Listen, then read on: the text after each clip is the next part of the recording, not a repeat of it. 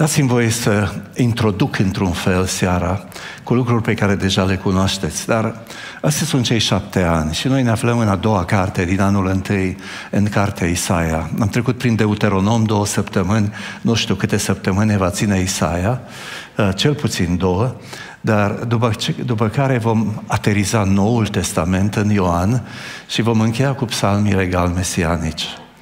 Și rugați-vă să o putem trimite la tipar să avem și cartea uh, ultimă, Psalmii Regal Mesianici.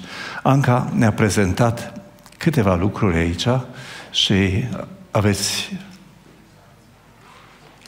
Deuteronom, Isaia și Ioan.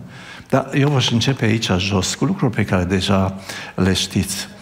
Pentru cei care ne urmăriți pe internet, pentru că scopul acestor seri este și să încurajăm pe alții din țară, de peste tot, care vor să intre în Scriptură, să pornească pe urmele revelării de sine a lui Dumnezeu prin grădina aceasta în care s-a lăsat urmele pașilor. Și dacă șapte ani vi se par prea mulți, opriți-vă la anul întâi. Anul întâi aveți înaintea voastră. Este Deuteronom, Shema Israel, este Isaia, pe care o parcurgem și va veni uh, Evanghelia după Ioan și lipsește uh, psalmii regal mesianici.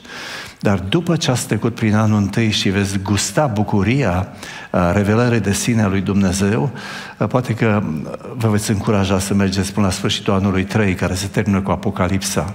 Și anul 3 începe în Genesa, se termină cu Apocalipsa și am parcurs toată Scriptura, dacă ați citit între ele toate cele 64 de cărți.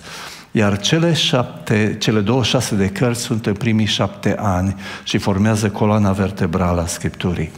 Dar noi suntem încă în anul întâi. Observați toată Scriptura, crezi din Scriptură și o bază vechi testamentară solidă. Și în anul întâi avem Deuteronom, Isaia și Ioan.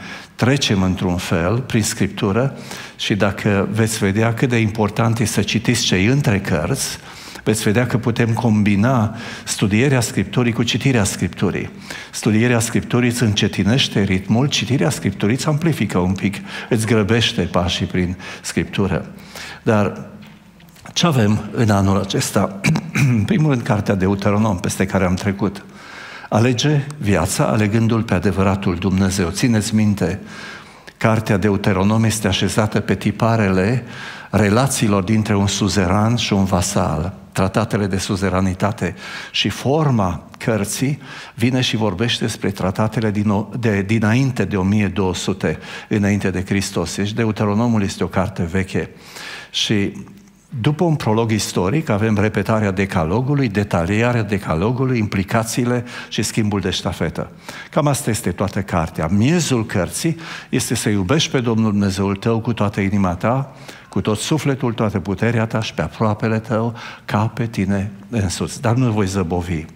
Mă mut în cartea Isaia și aș vrea să mă opresc lângă Titi. Titi, am un microfon. Spune-mi, te rog, ce am pe ecran?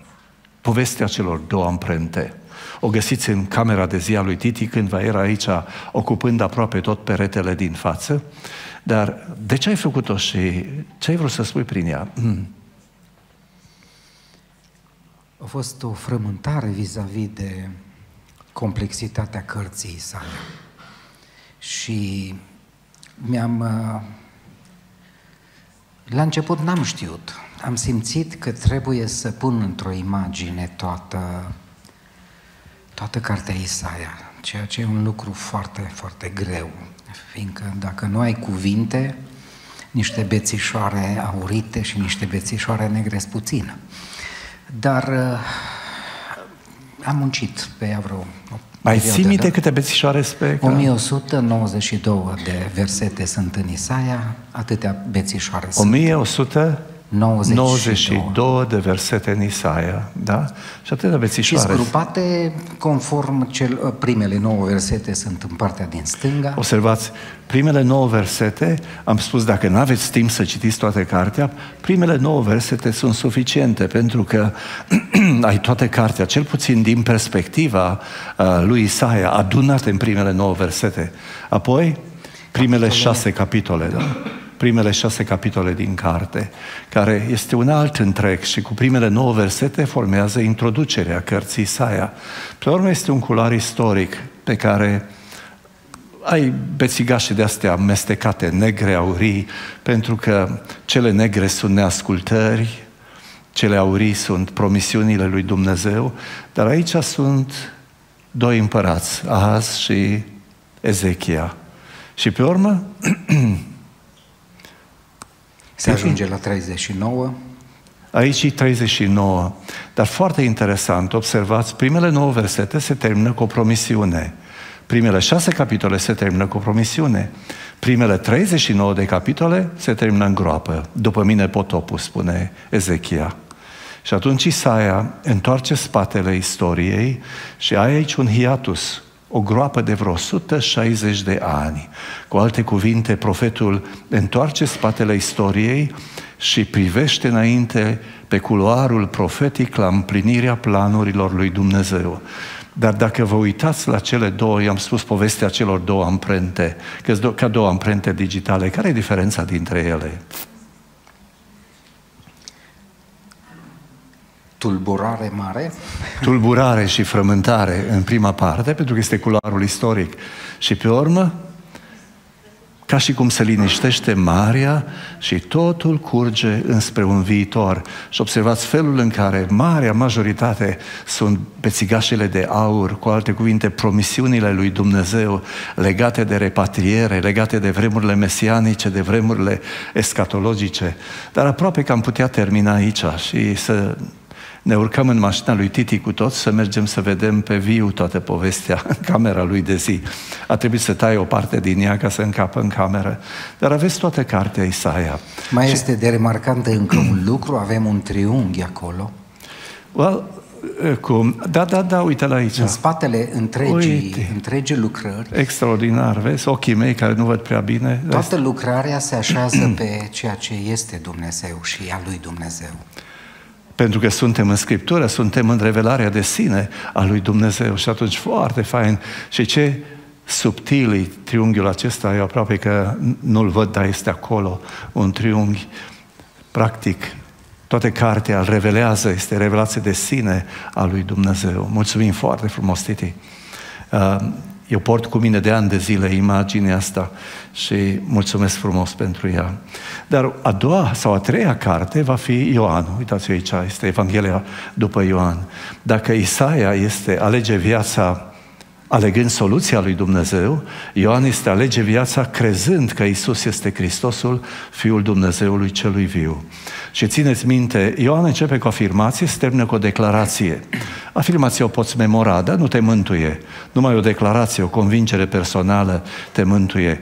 Și de aceea, întrebarea este cum te miști de la o afirmație la o declarație. Și am văzut că trebuie să existe o demonstrație.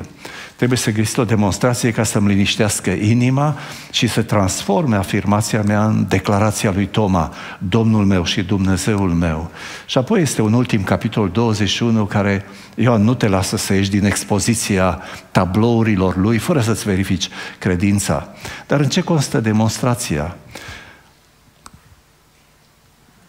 La început era cuvântul, cuvântul era cu Dumnezeu, cuvântul era Dumnezeu. El era la început cu Dumnezeu, toate lucrurile au fost făcute prin El. O afirmație.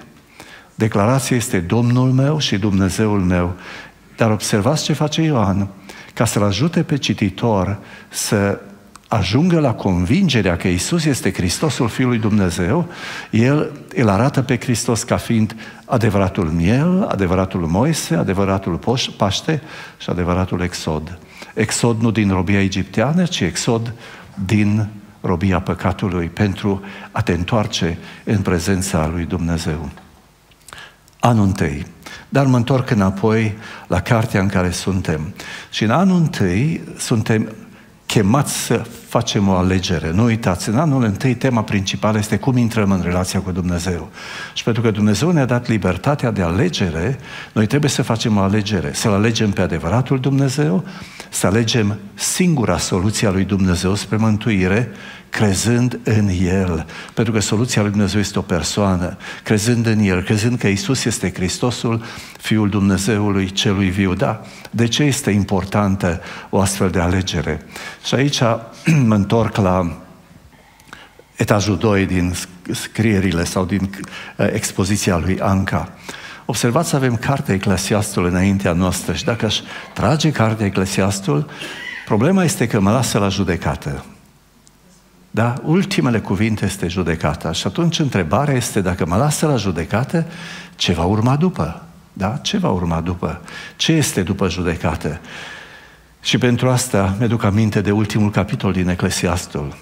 Adu-ți aminte de făcătorul tău în zilele tinereții tale, până nu se rupe funie de argint, până nu se sfarmă găleata, nu se strică roata de la, uh, de la fântână, până nu se sparge găleata la izvor și până nu se strică roata de la fântână, până nu se întoarce țărâna în pământ, cum a fost, și până nu se întoarce Duhul la Dumnezeu care l-a dat. Și dacă iau în serios cuvintele Eclesiastului, atunci în momentul morții, în momentul în care se rupe funia de argint, poate că într-o bună zi ne mai aduci și funia de argint, observați, se întâmplă două lucruri. Ceva din mine se întoarce acasă și ceva din mine rămâne la viermi. Cu alte cuvinte, întrebarea este cine sunt eu cel adevărat? Nu cel care a fost luat din țărână și se întoarce în țărână, ci cel adevărat sunt cel locuit în țărână, care a locuit în țărână. Sunt Duhul care vine de la Dumnezeu, se întoarce la Dumnezeu. Noi venim de undeva și ne întoarcem undeva. Și ca dovadă a acestei călătorii, dragii mei, avem însăși viața Domnului Isus Hristos. La început era cuvântul, cuvântul era cu Dumnezeu, cuvântul era Dumnezeu. Observați, suntem în veșnicie, alături de Tatăl, împreună cu Tatăl. Era cu Dumnezeu și era Dumnezeu. El este Creatorul a toate. Dar pe urmă spune, cuvântul s-a făcut trup și a locuit printre noi, plin de har și de adevăr. Și asta a fost călătoria lui prin bucla asta fără șira de jertăciunii, 33 de ani și jumătate. Dar 40 de zile după înviere, Domnul Iisus Hristos s-a înălțat de unde a venit. Și dacă urmăresc viața Domnului Iisus Hristos și așez viața mea peste tiparul călătoriei Lui, eu vin de undeva, trăiesc o vreme aici și mă întorc undeva. Dar atunci se ridică o întrebare foarte importantă. În 1 Corinteni, capitolul 15, versetul 19, spune, dacă numai pentru viața aceasta dacă numai pentru viața aceasta și dacă m-aș întoarce înapoi, dacă numai pentru viața aceasta ne-am pus nădejdea în Hristos, dacă nu ne interesează de unde venim și unde ne întoarcem, suntem cei mai nenorociți dintre toți oamenii. Întrebarea este imperativă. Care-i rostul umblării mele prin bucla fără șira de șertăciune? Care-i rostul vieții? De ce sunt aici? De ce m-a închis Dumnezeu? De ce m-a trimis Dumnezeu? De ce mă cheamă acasă? Spuneam, noi suntem ca o albină la cules. Și în momentul în care se rupe funia de argint, aterizăm pe ordinișul cerului la judecată. Și de ce Eclesiastul ne lasă la judecată? Deci care este rostul vieții? O, pentru asta m-am mutat într-o altă carte, în cartea 1 Cronici. Și observați, lângă Eclesiastul, dacă adaugi Cartea 1 Cronici, Cartea 1 Cronici îți deschide perspectiva și te duce mult dincolo de, ju- la jude- de judecată, la ceea ce Dumnezeu a gândit pentru noi încă din veșnicii. A gândit pentru Adam și pentru toți muritorii, și pentru tine și pentru mine. Observați în cronici, primul cuvânt este Adam. Și de aici urcă toată istoria prin promisiunea lui Dumnezeu din cronici, până pe scaunul de domnie al Domnului. Solomon a șezut pe scaunul de domnie al Domnului. Țineți minte, ne-am întrebat, e o metaforă sau este o realitate încărcată teologic? A gândit Dumnezeu un scaun de domnie pentru fiecare dintre noi? Cu alte cuvinte, ce mă așteaptă? Care e destinația mea? Viermii? Nu. Nu, dragii mei, oricum tot ce adun din deșertăciune aici las. Și atunci întrebarea mea este, dacă mă întorc de unde am venit, pentru ce m-a creat Dumnezeu? Care e destinația spre care merg? Din pricina legământului davidic, scaunul de domnie, dragii mei, este pregătit pentru noi și este un scaun de domnie veșnic în împărăția lui Dumnezeu și în casa lui Dumnezeu. Știți care e tragedia? Prin neascultările lui Solomon, și a vândut dreptul de a domni exact ca Adam și toată istoria s-a prăvălit în groapa robiei babiloniene, dar Dumnezeu n-a lăsat acolo. Și de aceea, dacă mă uit la planurile lui Dumnezeu, în ciuda acestor nenorociri pe care toți împărații, și vă spun, nu este un împărat bun în Iuda, În Israel toți sunt răi, dar în Iuda nu este un împărat bun care să nu fi terminat prost. Și de aceea era nevoie de un alt împărat care să răscumpere toată linia împărăției. Și este împăratul împăratilor, împăraților și domnul domnilor. Observați promisiunea Domnului Iisus din Apocalipsa, celui ce va birui, îi voi da să șadă cu mine pe scaunul meu de domnie, după cum și eu am biruit și am șezut cu tatăl meu pe scaunul lui de domnie. Poate unul din textele cele mai frumoase și pe mine l-ați auzit recitându-l de câteva ori, da? În adevăr, nu unor îngeri a supus el lumea viitoare despre care vorbim. Ba încă cineva a făcut undeva următoarea mărturisire. Ce este omul? Să-ți aduci aminte de el și fiul omului să-l bagi în seamă. L-ai făcut pentru Puțin. puțină vreme mai de jos de îngeri. Pentru puțină vreme mai pe jos de îngeri. L-ai încununat cu slavă și cu cinste, l-ai pus peste toate lucrările mâinilor tale. Toate le-ai pus sub picioarele lui. Într-adevăr, dacă i-a supus totul, înseamnă că nu i-a lăsat nimic de supus, totuși. Acum încă nu vedem că toate îi sunt supuse, dar pe acela care a fost făcut pentru puțină vreme mai pe jos de înger, pe Iisus, îl vedem încununat cu slavă și cu cinste din pricina morții pe care El a suferit-o. Știți de ce a suferit El moartea? Pentru că Dumnezeu voia să te aducă și pe tine și pe mine la slavă să ne răscumpere din deșertăciunea acestei lumi și să domnim împreună cu Hristos, să stăpânim lumea viitoare. Dragii mei, dacă ne-ar intra în minte acest adevăr și dacă am umbla cu el, ne-am raportat altfel la deșertăciunea acestei lumi. Ne-am folosit de ea, ne-am bucurat de ea, i-am mulțumit lui Dumnezeu pentru ea, dar n-am trăit pentru ea. Și asta este tragedia imensă. Atunci când în capitolul 2 din Genesa este descris grădina Edenului, Știți care e minunea? În capitolul 2 zice, un râu ieșea din Eden și udea toată țara Havila și se împărțea în patru brațe și uh, numele primului era Pison și înconjura țara Havila și acolo era aur și aurul acesta este bun, era și bedelion și piatră de onix și te întreb, ce caută aurul, aurul bun, bedelionul și piatra de onix? Pentru că în momentul în care în capitolul 3 omul este alungat din prezența lui Dumnezeu și șarpele ridică înaintea lui sclipiciul lumii acesteia, închine-te mie și toate ți le voi da ție. Și așa începe istoria, dragii mei. Așa începe istoria asta. Vânduți de șertăciunii. Principiu simplu. Dați-le mult de lucru să n-aibă vreme să umble după năluci.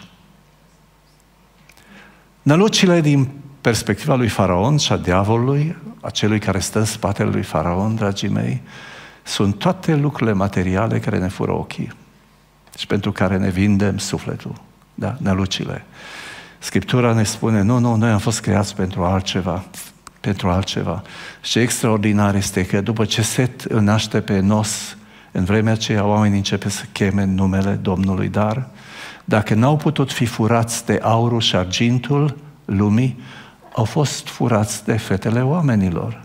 Și a venit potopul. Și observați finanțe, faime și mai este un F, da, care macină pe bărbații lumii acestei. Așa asta s-a întâmplat de-a lungul întregii istorii. Dacă nu sunt femeile, finanțele, faimele, faima, ceva uh, îți fură sufletul. Și astea sunt lucrurile pe care diavolul le scoate înaintea noastră. Cu alte cuvinte, există două destine. Cum să trăiesc. să trăiesc. Ca să învăț cum să trăiesc, îmi spune unui an, cine zice că rămâne în el, trebuie să trăiască și el cum a trăit Isus. Diferența dintre el și mine este că el a fost ispitit ca și mine în toate lucrurile, dar fără păcat. Eu sunt ispitit ca și el în toate lucrurile, uneori cad, altor biruiesc.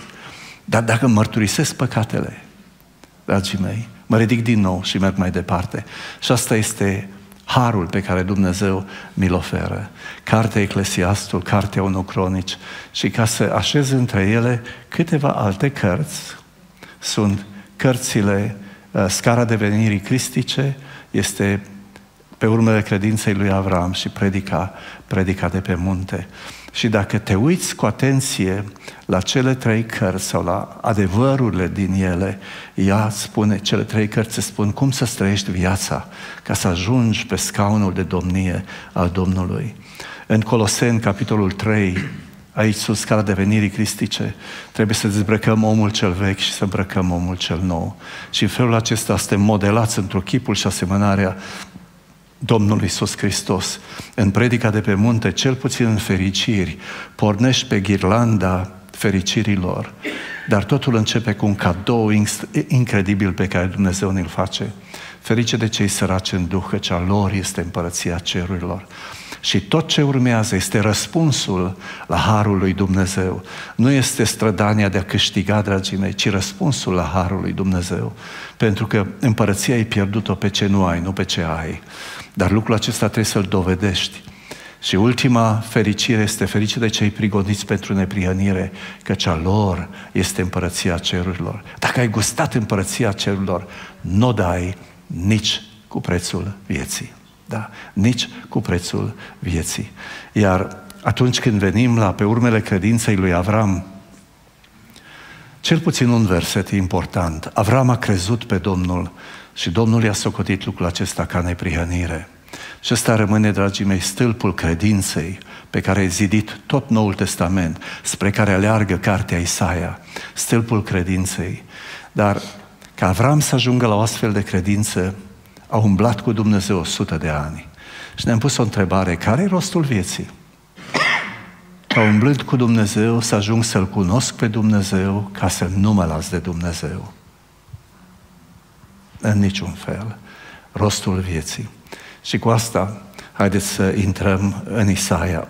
Probabil partea întâia. Dar Știți care e scopul nostru? Să-L cunoaștem pe Dumnezeu, să-L facem, să-L facem cunoscut. Ori ca să-L cunoști pe Dumnezeu, trebuie să te folosești de scările pe care Le-a coborât spre noi. Conștiința, natura, istoria, Isus Hristos și Scriptura. Nu intru în textele am citat, dar pe noi ne interesează Scriptura pentru că Isaia este una din cele 66 de cărți ale Scripturii. Observați, avem Scriptura înaintea noastră și ne apropiem de ea, să-L cunoaștem pe Dumnezeu, să-L facem cunoscut. Dacă Deuteronomul a fost între primele 17 cărți narrativ istorice, Isaia este una din cărțile profetice. Da? Una din cărțile profetice, unul din cei patru profeți mari. Și ne vom opri lângă cartea Isaia, dar un cuvânt despre Scriptură. Are 66 de cărți, 39 în Vechiul, 27 în Noul, și ce e foarte interesant, că pagina albă dintre cele două testamente îi preț de vreo 400 de ani de tăcere. Imaginați-vă ca să trec din 39 la 40, 39 la 40-a carte, am vreo 400 de ani de tăcere între cele două testamente. Da, acum, dacă vin la cartea Isaia, are tot 66, nu de cărți, ci de capitole. Și între Capitolul 39 și capitolul 40, ați văzut pe lucrarea lui Titi, este un hiatus, este o prăpastie de vreo 160 de ani, depinde cum eh, socotești lucrurile. Dacă socotești din 701 până, până în 539, ai vreo 162 de ani. Cu alte cuvinte, pe Dumnezeu nu-L interesează cei 160 de ani. Nu-L interesează. Și de aceea în timp ce Isaia era insuflat de Dumnezeu, Dumnezeu îi spune, îmi pare rău, în cămările astea nu intrăm, că nu, nu ne interesează, și el sare vreo 160 de ani mai departe, în timp, în viitor, practic, să vorbească despre repatrierea din robia babiloniană. A, da, povestea asta nu e întâmplătoare. De pildă, dacă deschideți cartea numeri, între capitolul 19 și 20 între cele două versete, primul din 20 și ultimul din 19, sunt 38 de ani de tăcere. După ce Ahaz întoarce spatele lui Isaia, sunt 20 de ani de tăcere, Isaia nu-i mai vorbește. După ce Ezechia întoarce spatele uh, lui Isaia, după mine potopul, da, în capitolul 39, sunt 160 de ani de tăcere. Și stai și te întreb, de ce Dumnezeu e dezinteresat de perioade de astea mari de istorie. Dragii mei, tăcerea de 400 de ani, să, ști, să știți că gemete și țipete. Este o frământare incredibilă în perioada intertestamentară. Și probabil la fel este incredibilă frământarea um, între capitolul 39 și pentru că asta a dus la dezintegrarea lui Israel, la ducerea în robia lui Israel, la 70 de ani de robia lui Israel, și abia după împlinirea celor 70 de ani pentru împlinirea cuvântului lui Dumnezeu, Dumnezeu intervine, este dictul lui Cir și poporul se, începe să repatrieze și durează 100 de ani să se întoarcă din robie, trei valuri mari de repatrieri. Dar este interesant stăcerile astea lui Dumnezeu, pentru că în momentul când îi întorci spatele lui Dumnezeu, în momentul acela, ceva devine absolut fără valoare. Fără valoare. Vă dau un exemplu din Cartea Levitic. Cred că undeva în capitolul 24 sunt deschise sau în Levitic sau în Exod, da? vă descurcați voi cumva. Sunt deschise obiectele din cort și am, pe de o parte, sfeșnicul cu cele șapte brațe și masa pentru punerea înainte. Și pe sfeșnicul cu cele șapte brațe erau șapte candele care trebuiau așa așezate ca să arunce lumina asupra celor 12 pâini. Pentru că relația dintre Dumnezeu și Israel a tocmai fascicolul de lumină de pe sfeșnic, practic reprezentându-l pe Hristos și cele șapte duhuri ale lui Dumnezeu, și cele 12 seminții ale lui Israel. Și foarte interesant în carte, cineva hulește pe Domnul și este adus la Moise. Și Moise îl aduce înaintea Domnului și ce să fac cu el? Și Dumnezeu spune, omoară-l. Uh. Și atunci te întrebi, ce se întâmplă când cineva taie sau neagă sau nesocotește relația lui cu Dumnezeu? De ce viața nu mai are nicio valoare? Cel puțin tăcerile acestea din Biblie, din cărți, din... vine și îmi spune, Că practic valoarea noastră este dată de unul acela care este în fața zerourilor pe care le reprezentăm noi. Unul dă valoare la tot șirul de zerouri. Fără acel unul, zerourile, zero, indiferent câte am înșira. Și elementul ăsta este esențial. De ce spune Domnul Isus că viața veșnică este aceasta, să te cunoască. Și aici a cunoaște înseamnă fiind relație cu Dumnezeu, a trăi cu Dumnezeu, a umbla cu, a umbla cu Dumnezeu. Deci notați, vă rog, 40 de ani, 400 de ani din Scriptură se transformă în 160 de ani între cele două părți din cartea, din cartea Isaia.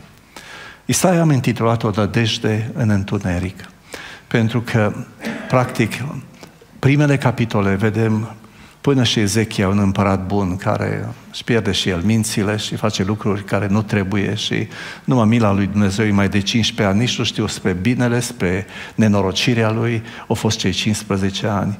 Dar mai ales ultima parte și toate luminile care se aprind, dragii mei, și petele astea de lumină, dacă e corect ce spun, petele de lumină cresc din ce în ce mai mult și capitolele 40 la 66 sunt luminoase din calea afară, luminoase din calea afară. Dar ce ne propunem în seara aceasta? Titi, dacă vrei să treci prin listă, în primul rând venim din Deuteronom și am vrea să vedem dacă este vreo relație între Isaia și Deuteronom.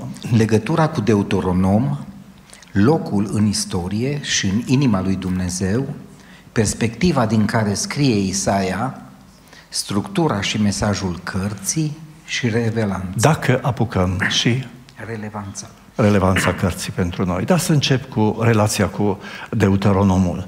Observați, Deuteronomul este în jurul lui 1500, depinde unde așez exodul, este un exod timpuriu, un exod mai târziu, vă las pe voi să vă frământați cu ele. Dacă îl așez pe Isaia în jurul lui 750 înainte de Hristos, Vedeți că sunt vreo 750 de ani, șapte secole și jumătate de istorie se scurg între cele, între cele două cărți.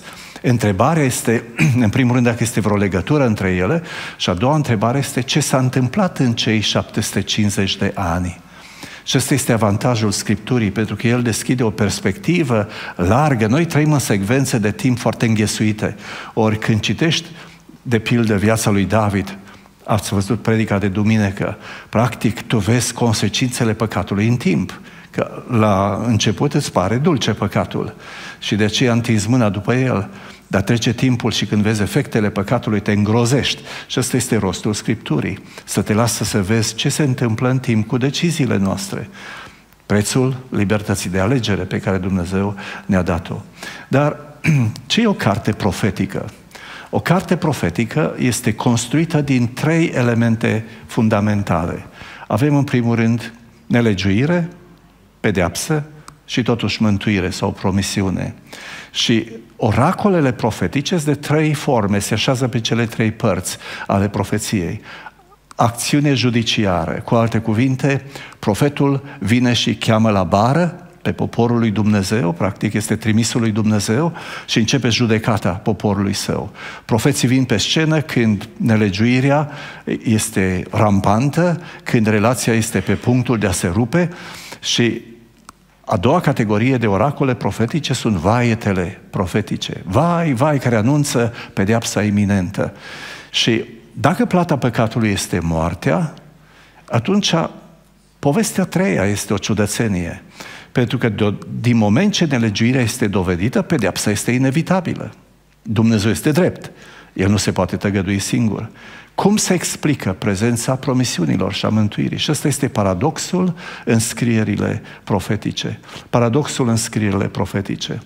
Acum, de ce am așezat lucrurile? Pentru că Deuteronomul, Deuteronomul ne lasă în fața unei acțiuni judiciare. Și Isaia începe într-o sală de judecată, ca și cum n-ar fi nimic între. Da?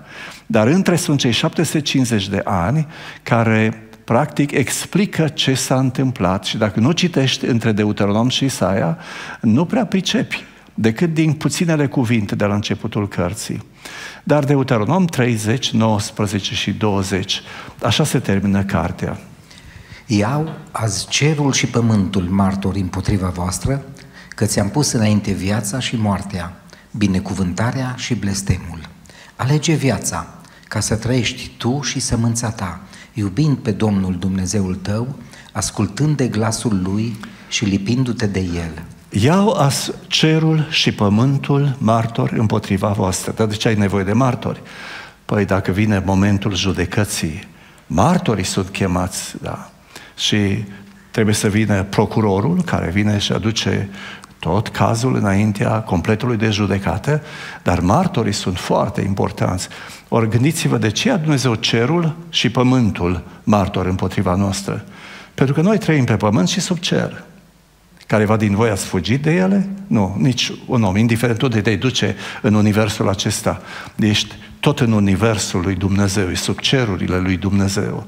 Și atunci, în bucla asta, fără șirea deșertăciunii, totul este înregistrat.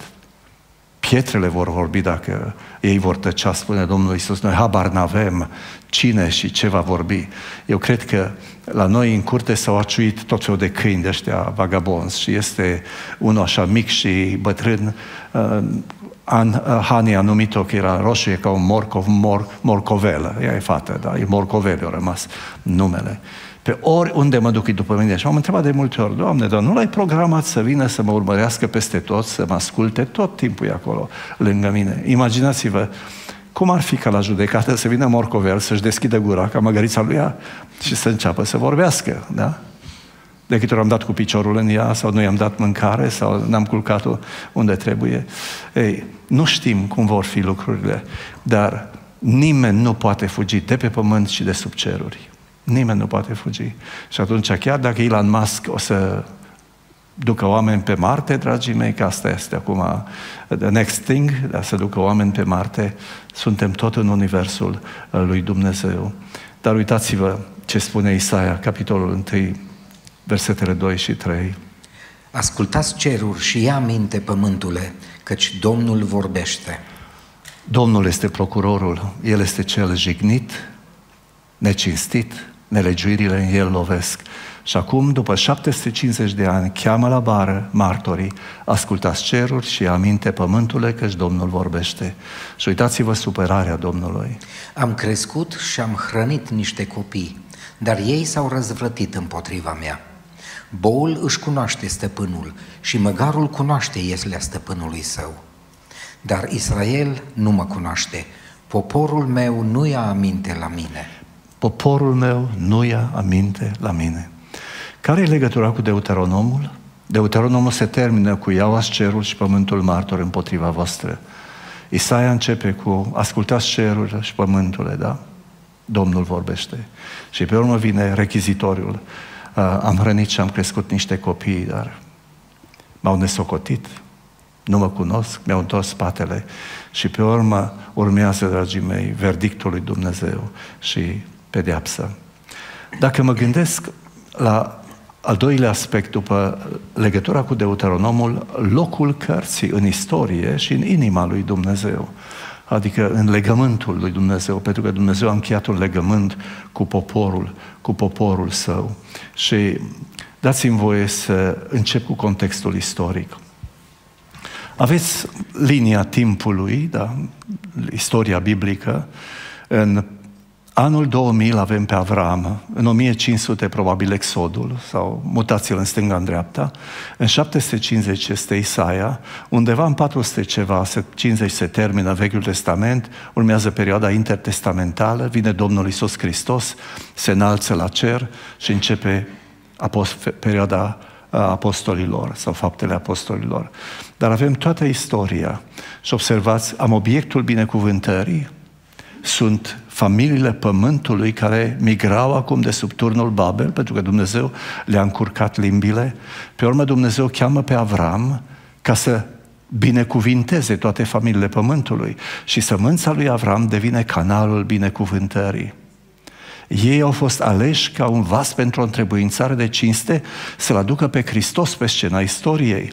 Dar ei se răzvrătesc, pleacă în robia babiloniană, se întorc și apoi avem o perioadă post-exilică și începe tăcerea dintre cele două testamente. Dar Dumnezeu n-a renunțat la planurile Lui. Din Israel, din Iuda se naște Mesia, Hristosul. Și Hristosul, dragii mei, este sămânța lui Avram, fiul lui David, prin care Dumnezeu urma să-și ducă promisiunile la, și planurile la împlinire. Deci, e important să așezi Isaia pe cuierul istoric la locul lui, în jurul lui 750 um, după Hristos. Dar uitați-vă la primul verset, ne așează în contextul istoric. Prorocia lui Isaia, fiul lui Amoț, despre Iuda și Ierusalim, pe vremea lui Uzia, Iotam, Ahaz și Ezechia, împărații lui Iuda. Pe vremea lui Ozia, Iotam, interesant, de Iotam nu amintește, el este chemat în slujbă la moartea lui Ozia, la moartea lui Ozia, dar vom vedea că îl interesează doi împărați, pentru că cei doi împărați prezintă două moduri de a te raporta la Dumnezeu. Dar dacă mă gândesc la Ierusalim și Iuda, atunci am împărații lui Iuda, am împărații lui, lui Iuda. Și printre împărații lui Iuda o am pe Ozia, Iotam, Ahaz și Ezechia. Da? Ahaz și Ezechia. Dar interesant este că Isaia este interesat doar de ultimii doi de Ahaz și Ezechia. Și îi pune față în față pe Ahaz și Ezechia și uh, practic ne transmite un mesaj prin contrastul dintre ei. Nu-l interesează restul împăraților. Dar observați, sunt câțiva împărați buni, câțiva împărați răi. Dacă întrebarea este ce se întâmpla în regatul de nord, în Israel, atunci am toți împărații din Israel, care toți sunt răi, și am încercuit aici doi dintre ei, pe Ahab și pe fiul său Ioram. Pentru că pe vremea lui Ahab este prorocul Ilie. Și prorocul Ilie îl cheamă pe Ahab și pe toți preoții lui Baal pe muntele Carmel, după trei ani de secetă. Și pe urmă ridică altarele, țineți minte, fiecare își pune jertfa și Ilie îi lasă pe preoții lui Baal, erau 850, să cheme pe Baal, să aprindă focul și să mistuie jertfa. Și ei se taie cu sulițele, cu țitele, dănțuiesc, aiurează, Ilie își bate joc de ei. Când vine momentul jertfei de seară, rostește o rugăciune simplă și momentul acela, după ce a turnat nu știu câte găleți de apă încât s-a udat toată jertfa, s-a umplut tot șanțul din zul altarului, toate lemnele s-au udat, nu aprinde dacă poți. Și la rugăciunea lui simplă cade un foc din cer, mistuie jertfa și pietrele, dragii mei, și suge toată apa. Și întregul popor strigă, Jehova este Domnul, Jehova este Dumnezeu, Jehova este Dumnezeu. Și Ilie junghie pe oții lui Baal, după care l-a istovit, fuge înaintea carului lui Ahab. Da, carului lui Ahab. Și pentru că Izabela vrea să-l omoare, el vine la Domnul și zice, Doamne, nu o să mai bun ca părinții mei, omoară-mă. Și zice Dumnezeu, dacă mi-ai prezentat cererea de demisie, dă cu acest semnez. Dar mai ai câteva lucruri de făcut. Și îl trimite pe Ilie la Hazael, împăratul Siriei, la Jehu, un israelit care va împlini planul Dumnezeu cu toată casa lui Ahab, și la Elisei. Și pentru că Dumnezeu, el era în crăpătura stâncii și Dumnezeu mai întâi vine cu un cutremur de pământ, cu un foc, cu... și Dumnezeu nu era în toate acestea. Și vine un susur blând și subțire și începe să-i vorbească. Și Ilie pricepe. Dacă Dumnezeu ar fi vrut să nimicească poporul, s-ar fi prezentat în cutremurul de pământ. Sau în focul care a venit să mistuie totul. Dar când a venit într-un susur blând și subțire, a înțeles inima lui Dumnezeu. Și aici avem sfânta neascultare a lui Ilie. Ilie, în loc să meargă la Hazael și la Iehu, se duce la Elisei, îl unge proroc în, în locul lui și zice, este luat la cer. Și începe o perioadă, dragii mei, de primăvară în Israel prin lucrarea prorocului Elisei. Da, dar planurile Dumnezeu se împlinesc. Doi împărați, capitolul 10, versetele 30 la 31. Domnul a zis lui Iehu, pentru că ai adus bine la îndeplinire ceea ce este plăcut înaintea mea și ai făcut casei lui Ahab tot ce era după voia mea, fiii tăi până la al patrulea neam vor ședea pe scaunul de domnie al lui Israel. Fiii tăi până la al patrulea neam. Mhm. Totuși, Iehu n-a luat seama să umble din toată inima lui în legea Domnului, Dumnezeului lui Israel, și nu s-a bătut de la păcatele în care târâse Ieroboam da, pe, pe Israel. Israel. Dacă mă uit la Iuda, i-am aici jos și aici aveți profeții, am Israel și Iuda. În Iuda am pe Mica și Isaia, am pe Amos și Osea în Israel. Uitați-vă la șirul împăraților din Israel care corespund la perioada celor patru împărați și, practic, el își începe în capitolul 7. În capitolul 6 este chemat în slujbă pe vremea sau la mormântarea lui Ozia. Dar el își începe aici. Observați ca și cum ar fi fost război civil în, în regatul de nord. O grămadă de împărați care vin și uh, în timpul în care era mai multă liniște în regatul de sud. Acum am vorbit despre contextul istoric, dar cum arată contextul teologic? Care e rolul profetului în economia legământului sau planului Dumnezeu? V-am spus dățile trecute, cartea Exod este cartea pivotară. Aici avem căile Domnului, răscumpărare, lege și cord. Și relația cu Dumnezeu se tranșează în spațiul legii în verset capitolul 19, încă nu erau poporului, deși au fost plătiți cu sângele mielului pascal. Dacă veți asculta glasul meu, veți fi ai mei. Dumnezeu le dă decalogul și pe urmă încheie legământul când ei au zis vom face tot ce a zis Domnul. În capitolul 25 la 40 avem cortul întâlnirii cu vițelul de aur. Dar ce se întâmplă când ai călcat legea? Păi Dumnezeu îți dă harul să-ți rezolvi păcatul prin jertfă și mijlocirea marelui preot. Dar dacă ai călcat legea și ai nesocotit cortul, pentru că Dumnezeu nu dorește moartea păcătosului, adaugă lucrarea profeților. Și profetul vine ca ultimă măsură de har în relația dintre popor și Dumnezeu, în legământul cu Dumnezeu. Imaginea asta ați văzut-o. Cele 17 cărți profetice se așează undeva în perioada regatului divizat și înmănunchează, sau dacă vreți, înfășoară momentele critice ale relației poporului cu Dumnezeu. 722 este căderea Samariei, plecarea în robia siriană. 586 este robia babiloniană, căderea Ierusalimului sub Nebucadnețar. Dacă mă gândesc la Isaia, Isaia trăiește 750 și începe probabil lucrarea și atunci el prinde căderea Samariei și vorbește despre căderea Samariei. Dar profeția lui nu se oprește în istorie, ci merge mult mai departe, până în vremurile repatrierii, vremurile mesianice și vremurile escatologice. În Ieremia, capitolul 3, versetele 6 la 8, am sărit până aproape de robia babiloniană. Ieremia este ultimul profet din uh, Iuda. Domnul mi-a zis pe vremea împăratului Iosia, ai văzut ce a făcut necredincioasa Israel? Observați, vremea împăratului Iosia este 646 9 În 609 cade Carchemișul. Atunci, practic, se termină cu Imperiul, Imperiul Asirian. Dar Dumnezeu îi vorbește lui Iosia despre păcatele poporului său. Ai văzut? Ce a făcut necredincioasa Israel? S-a dus pe orice munte înalt și sub orice copac verde și a curvit acolo. Eu ziceam că după ce a făcut toate aceste lucruri, se va întoarce la mine, dar nu s-a întors. Și sora ei, Vicleana Iuda, a fost martoră la aceasta.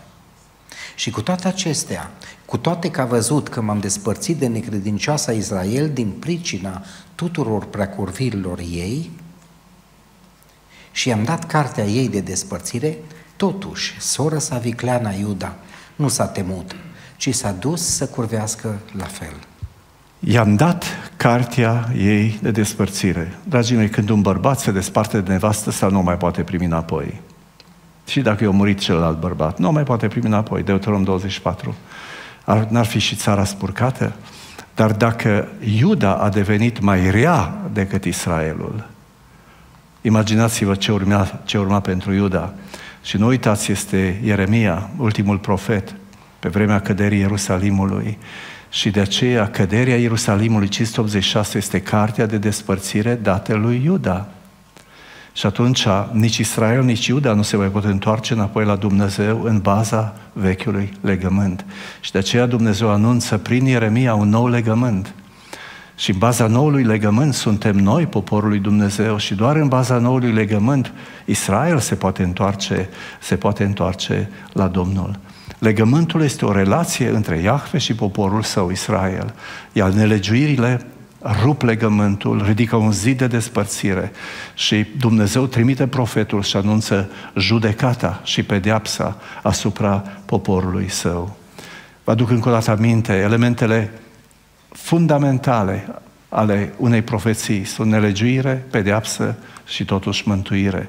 Când nelegiuirea este dovedită, pedeapsa este inevitabilă și atunci se ridică întrebarea cum de totuși Dumnezeu poate da mântuirea, deși a dovedit nelegiuirea și a anunțat pedeapsa. Ce există în planul lui Dumnezeu ca să facă lucrul acesta posibil? Observați, Deuteronomul pregătește o sală de judecată. Iau cerul și pământul martor împotriva voastră. Isaia ne aduce în sala de judecată. Cerule, pământule, veniți la bară, Domnul vorbește și Domnul citește rechizitorul împotriva poporului său.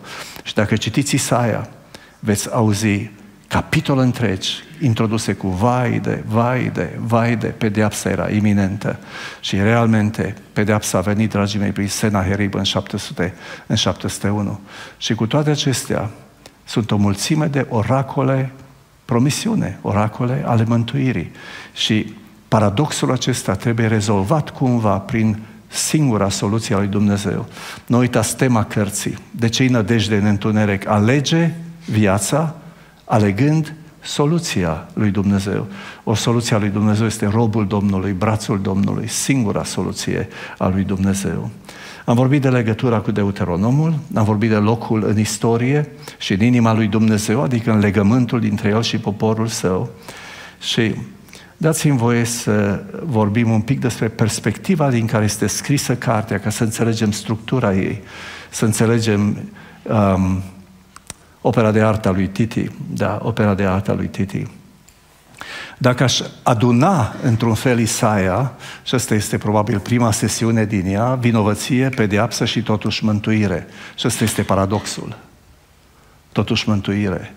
Dacă vinovăția este reală, pedeapsa este inevitabilă, cum de există totuși mântuire, da? Iar în prima, pentru că și în Isaia mergi cu pași destul de mari, avem primele nouă capitole, capitolul 5, cântecul viei Domnului, despre via lui, și capitolul 6, chemarea în slujbă a lui, a, a lui Isaia. Și dați-mi voie să plec de la povestea asta. Pe cele trei elemente din care e construit o profeție, aș așeza toată cartea cu structura ei. Observați, ghemotocul lui Titi, primele nouă versete, sunt aici. Am zis, dacă nu aveți timp, citiți primele nouă versete, pentru că toată cartea o aveți aici. Dacă vreți, corespondentul versetului 9 sunt capitolele 40 la 66. Corespondentul versetului 9. Dacă aveți un pic mai mult timp, puteți citi primele șase capitole. În capitolul 6 este chemat Isaia în slujbă. Și întrebarea este de ce n-am capitolul 6 la început? Din pricina perspectivei din care este scrisă cartea. Apoi am culoarul istoric care acoperă primele 39 de capitole. Și undeva acolo este un punct din care profetul privește înapoi la istorie și înainte la istorie. Și perspectiva din care e scrisă cartea era tocmai acel punct roșu dintre cele două uh, părți ale cărții Isaia. Dar dacă aș lua doar sfârșitul lucrurilor, de pildă versetul 9 din primele versete, sau în capitolul 6, versetul 13, sau în capitolul 39, acolo ar fi trebuit să colorez un pic săgeata cu altceva, pentru că acolo nu am ce am în versetul 9 și la sfârșitul capitolului 6, versetul 13, ultima parte. Și tocmai asta reclamă capitolele 40 la 66. De ce este important să mă uit în felul acesta la cartea Isaia? Dacă citiți comentarii pe Isaia, teologii, dragii mei, vorbesc despre Deutero Isaia și Tritero Isaia. De ce? Pentru că ei nu cred în faptul că există profeții despre lucrurile viitoare din istorie. Și atunci o profeție sau o vorbire nu poate fi decât post-eventum. Da, post-eventum. Și ei vorbesc de un al doilea sau un al treilea Isaia care au trăit astfel de evenimente și cândva undeva în istorie s-au adunat lucrurile la oaltă. Acum, ce e foarte interesant este că tot sulul cărții Isaia a fost găsit la Mare Moarte. Și vom vedea imediat parte din uh, sulul cărții Isaia. Dar pe mine mă interesează în mod sfârșiturile acestor secțiuni din text, versetul 9, versetul 13 și pe urmă de ce vers, capitolul 39 reclamă celelalte capitole. Pentru că capitolul 40 este corespondentul versetului 9 și corespondentul versetului 13 din capitolul 6. Fără capitolul 40 e neterminată istoria și de aceea nu pot vorbi despre un deutero Isaia, pentru că fără partea aceea, prim, primul Isaia nu-i terminat. Și organizarea cărții, uh, într-un fel, mă obligă să privesc cartea ca pe un întreg. Dar dacă vorbesc despre vinovăție, pedeapsă și totuși mântuire, atunci se ridică o întrebare. Ce nădejde mai poate fi atunci când vinovăția noastră întâlnește dreptatea lui Dumnezeu? Răspundeți-mi voi, ce nădejde mai poate fi atunci când vinovăția noastră întâlnește dreptatea lui Dumnezeu? Dreptatea lui Dumnezeu că El nu poate mântui pe ochi frumoși, nu? Ce nădejde poate fi? Răspunsul este nici una. Nu poate fi absolut nicio nădejde când vinovăția noastră se întâlnește cu dreptatea lui Dumnezeu, fiindcă plata păcatului este moartea. Sau fiindcă numele Domnului este așa cum l-a rostit ieri în Exod capitolul 34, versetele 5 la 7. Niciuna. De ce? Pentru că Domnul nu socotește pe cel vinovat drept nevinovat. Nu socotește pe cel vinovat drept nevinovat. Și? Pedepsește fără de legea părinților în copii și în copiii copiilor lor până la al treilea și al patrulea neam. Dar mai este ceva și binecuvintează până la al miilea neam pe cei ce-L iubesc și păzesc poruncile Lui. Și mă gândesc la, nu știu câți din sală uh, aveți copii și aveți adolescenți sau ați avut adolescenți. Cei care aveți copii mici sunteți fericiți. Dar când vine adolescența peste ei, atunci țineți-vă bine cu amândouă mâinile. Și întrebarea este, ce faci când ajungi la un astfel de punct? Pedepsesc păcatele părinților în copii până al treilea și al patrulea neam. Ups! Și asta întoarce degetele spre mine și reflectorul spre mine și mă acuză pe mine în relația cu copiii mei.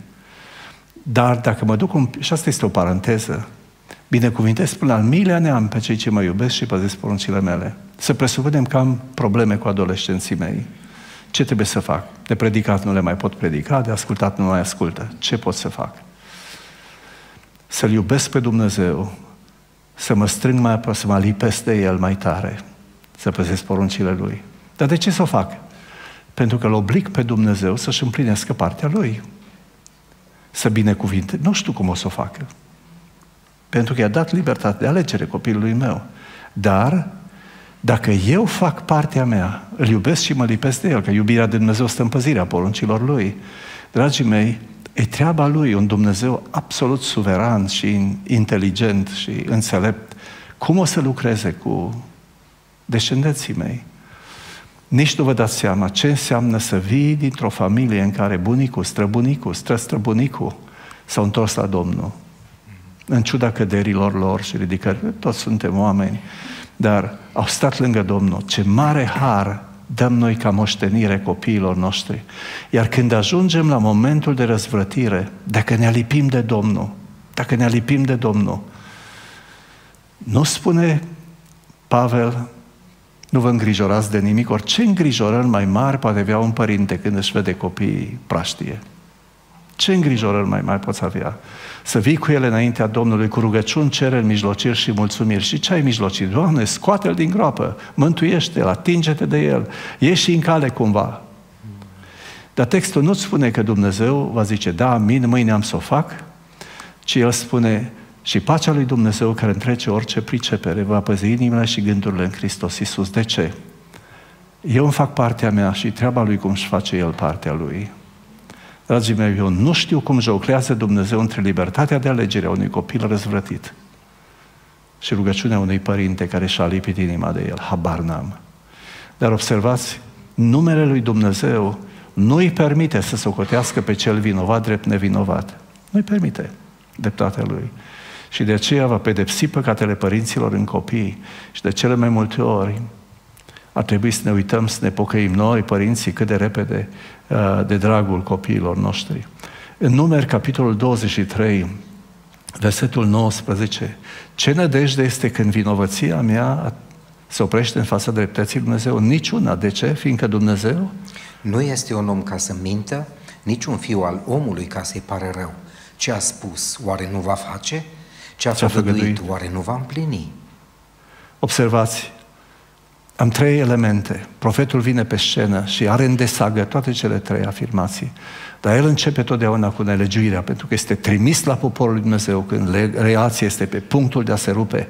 Și nu uitați, Isaia trăiește pe vremea căderii uh, Samariei și Ierusalimul trăia în curvie și Ierusalimul, capitolul întâi, suficient, dragii mei, mi-e scârbă de jertfele, de tămâie, de de rugăciunile voastre. Nu ascult. Da?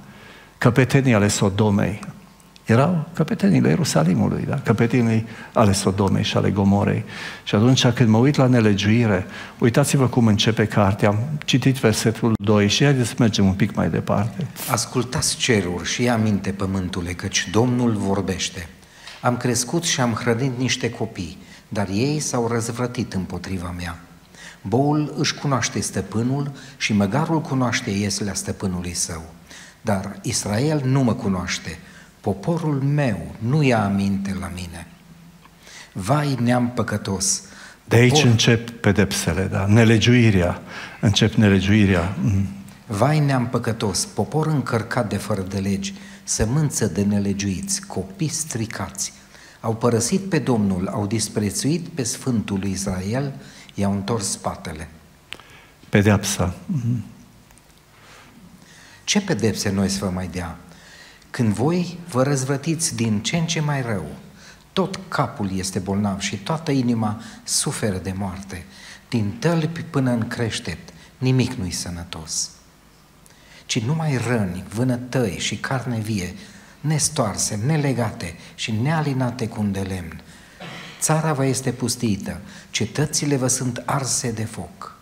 Străinii vă mănâncă ogoarele sub ochii voștri, pusteiesc și nimicesc ca niște sălbatici. Și fica Sionului a rămas ca o colibă în vie, ca o covercă într-un câmp de castraveți, ca o cetate împresurată. Ca o colibă în vie după cules, când totul a fost călcat în picioare și au mai rămas lețuri și câteva paie care acoperau coliba. Ca o covercă într-un câmp de castraveți cules, călcat tot în picioare, ca o cetate împresurată. Ce nădejde mai poate fi când vinovăția mea întâlnește dreptatea lui Dumnezeu? Ce nădejde? Niciuna. Citiți cu voce tare. Niciuna. Niciuna. Și totuși, și ăsta este paradoxul în scrierile profetice. Și te întreb, cum se explică lucrul acesta? Cum adică și totuși, când plata păcatului este moartea, când Dumnezeu nu e un om ca să mintă, când ce-a promis va făgă... A, el a promis că plata păcatului este moartea. Da? Cum se explică oracolul mântuirii sau oracolele mântuirii din cărțile profetice? În cele 17 cărți profetice, afară de una, toate se termină pe lumină, pe promisiune. Cea care e despre Ninive se termină în groapă, pe pedeapsă. Dar toate celelalte se termină pe promisiune și întrebarea este, care este explicația? Versetul 9, uitați-vă cum se încheie primul calup, primele nouă uh, versete din carte. De nu ne-ar fi lăsat Domnul oștirilor o mică rămășiță, am fi ajuns ca Sodoma și ne-am fi asemănat cu Gomora. De nu ne-ar fi lăsat, observați, ca o colibă în vie, ca o covercă într-un câmp de castraveți, ca o cetate împresurată. Ce mare lucru este că Dumnezeu n-a apăsat pedala până la capăt.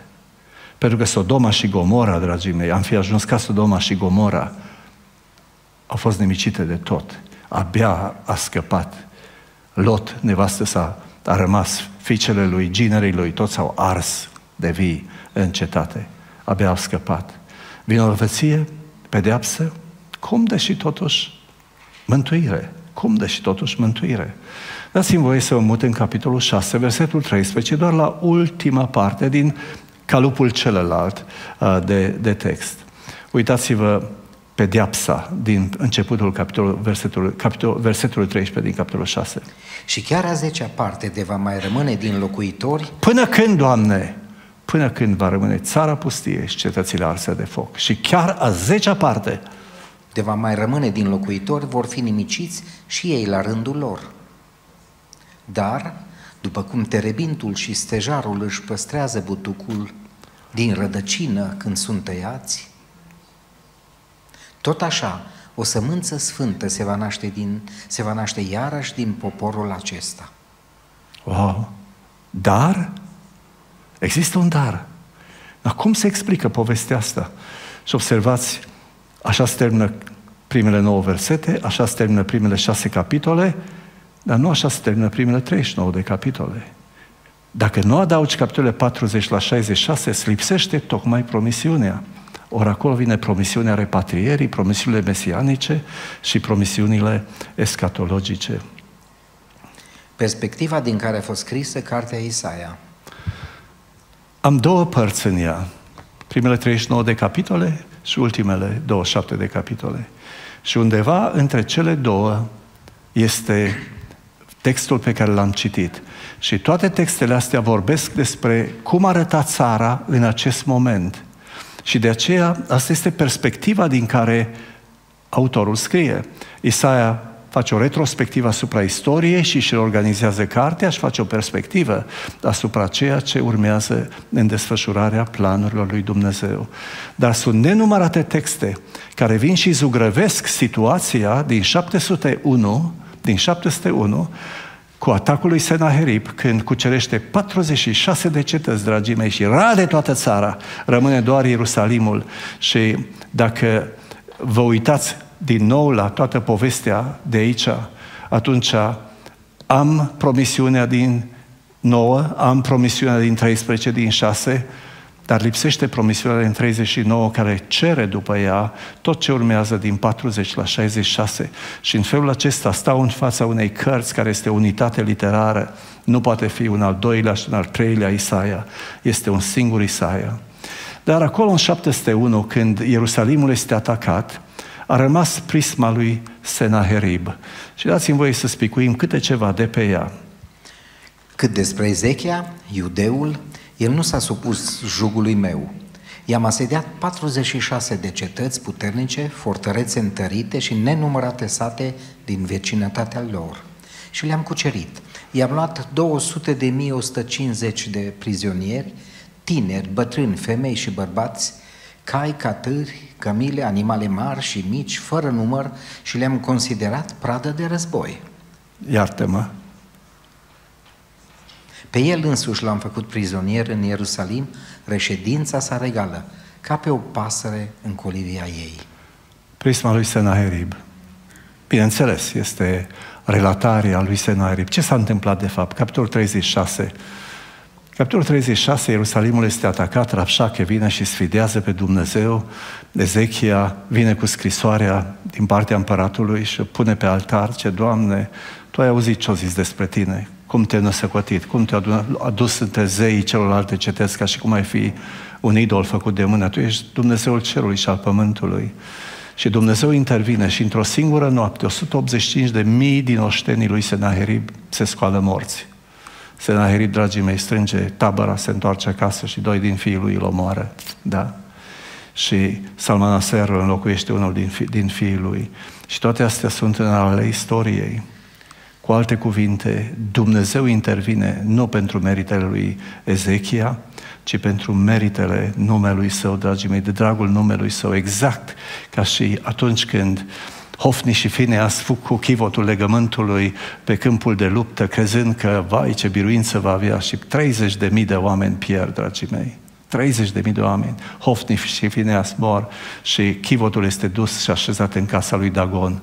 Și foarte interesant, în timp ce pe câmpul de luptă era inert, îmi vine la viață în casa lui Dagon. Și dimineața Dagon e cu fața la pământ și a doua zi cu mâinile și picioarele și cu capul tăiat în fața lui Iahve. Și pe urmă încep urgiile, ca și pe vremea ieșirii din Egipt împotriva filistenilor și trimit chivotul acasă. Dragii mei, chivotul era tronul lui Dumnezeu. Și pentru că Rapșache și împăratul Asiriei l-au sfidat pe Dumnezeu, Dumnezeu se trezește, intervine, dar nu de dragul lui Ezechia, ci de dragul planurilor lui. Ca să pregătească răzvrătirea împotriva lui Senahirib, Ezechia sapă tunelul lui Ezechia, vreo 700 ceva de metri. Eu am trecut prin el, uneori cu apa până aici, alteori nu poți trece, că e cu apa până sus în tavan, că e mai înalt, mai jos, ca să curgă apa din izvorul Gihonului, în scăldătoarea Siloamului. Dar observați pe unde vine Toată lumea se întreabă cum a fost săpat tunelul acesta. Au pornit cu dăl și ciocane din două părți și s-au întâlnit la mijloc. Când treci prin tunel, vezi că uneori o iau în stânga sau în dreapta și își dau seama că au greșit și se întorc înapoi, fără sonare, fără cârtițe, care acum fac tunele prin munți, dragii mei. Este o minune să treci prin ea, prin tunelul lui Ezechia. Aici este unul din zidurile lui Ezechia, care au fost construite în grabă în timp ce spârâiau uh, zidurile de afară. Și uitați-vă la un singur text din capitolul 22. Vă uitați la spărturile cele multe făcute cetății lui David și opriți apele iazului de jos. Numărați Opriți casele. apele iazului de jos, aducându-le prin tunelul Ezechia înăuntru ca să moară de sete cei care înconjurau Ierusalimul. Numărați casele Ierusalimului și le stricați ca să întăriți zidul. Faceți o cămară între cele două ziduri pentru apele iazului cel vechi, dar nu vă uitați spre cel ce a vrut aceste lucruri. Cu alte nu cuvinte, vedeți pe da. cel ce de mult le-a pregătit. Cu alte cuvinte, trudiți din greu, în loc să ridicați ochii în sus și să fie ascultat prorocia lui, lui Isaia, pentru că Isaia l-a avertizat pe Ezechia și pe mai mari lui Iuda. Nu vă răzvrătiți, nu vă răzvrătiți, nu cereți ajutor din Egipt, dar ei n-au vrut să țină cont de el. Da, ce crezi că vorbești cu niște copii înțărcați de curând? Ce tot bla bla bla, mai Isaia? Mai lasă în pace, erau toți beți, bucuroși că planurile lor au fost uh, adunate într-un fel și aveau succes, aveau promisiunea Egiptului, nu știau că e o trestie frântă care le va sparge mâna. Vinovăție, pedeapsă și totuși mântuire? Ce nădejde este când vinovăția noastră se oprește înaintea dreptății lui Dumnezeu. Dragii mei, niciuna. Și totuși, totuși din pricina două motive. În primul rând, din pricina credincioșiei lui Dumnezeu față de planurile lui și totuși din pricina iubirii lui Dumnezeu pentru creatura mâinii lui. Dați-mi voi să le iau pe rând. Din pricina credincioșiei lui Dumnezeu față de planurile lui. Și aș lua uh, un text, n-am să-l citesc, era un text lung, vreo 14 versete ar fi trebuit să citim din Ezechiel, capitolul 20. Vă las pe voi să-l citiți acasă.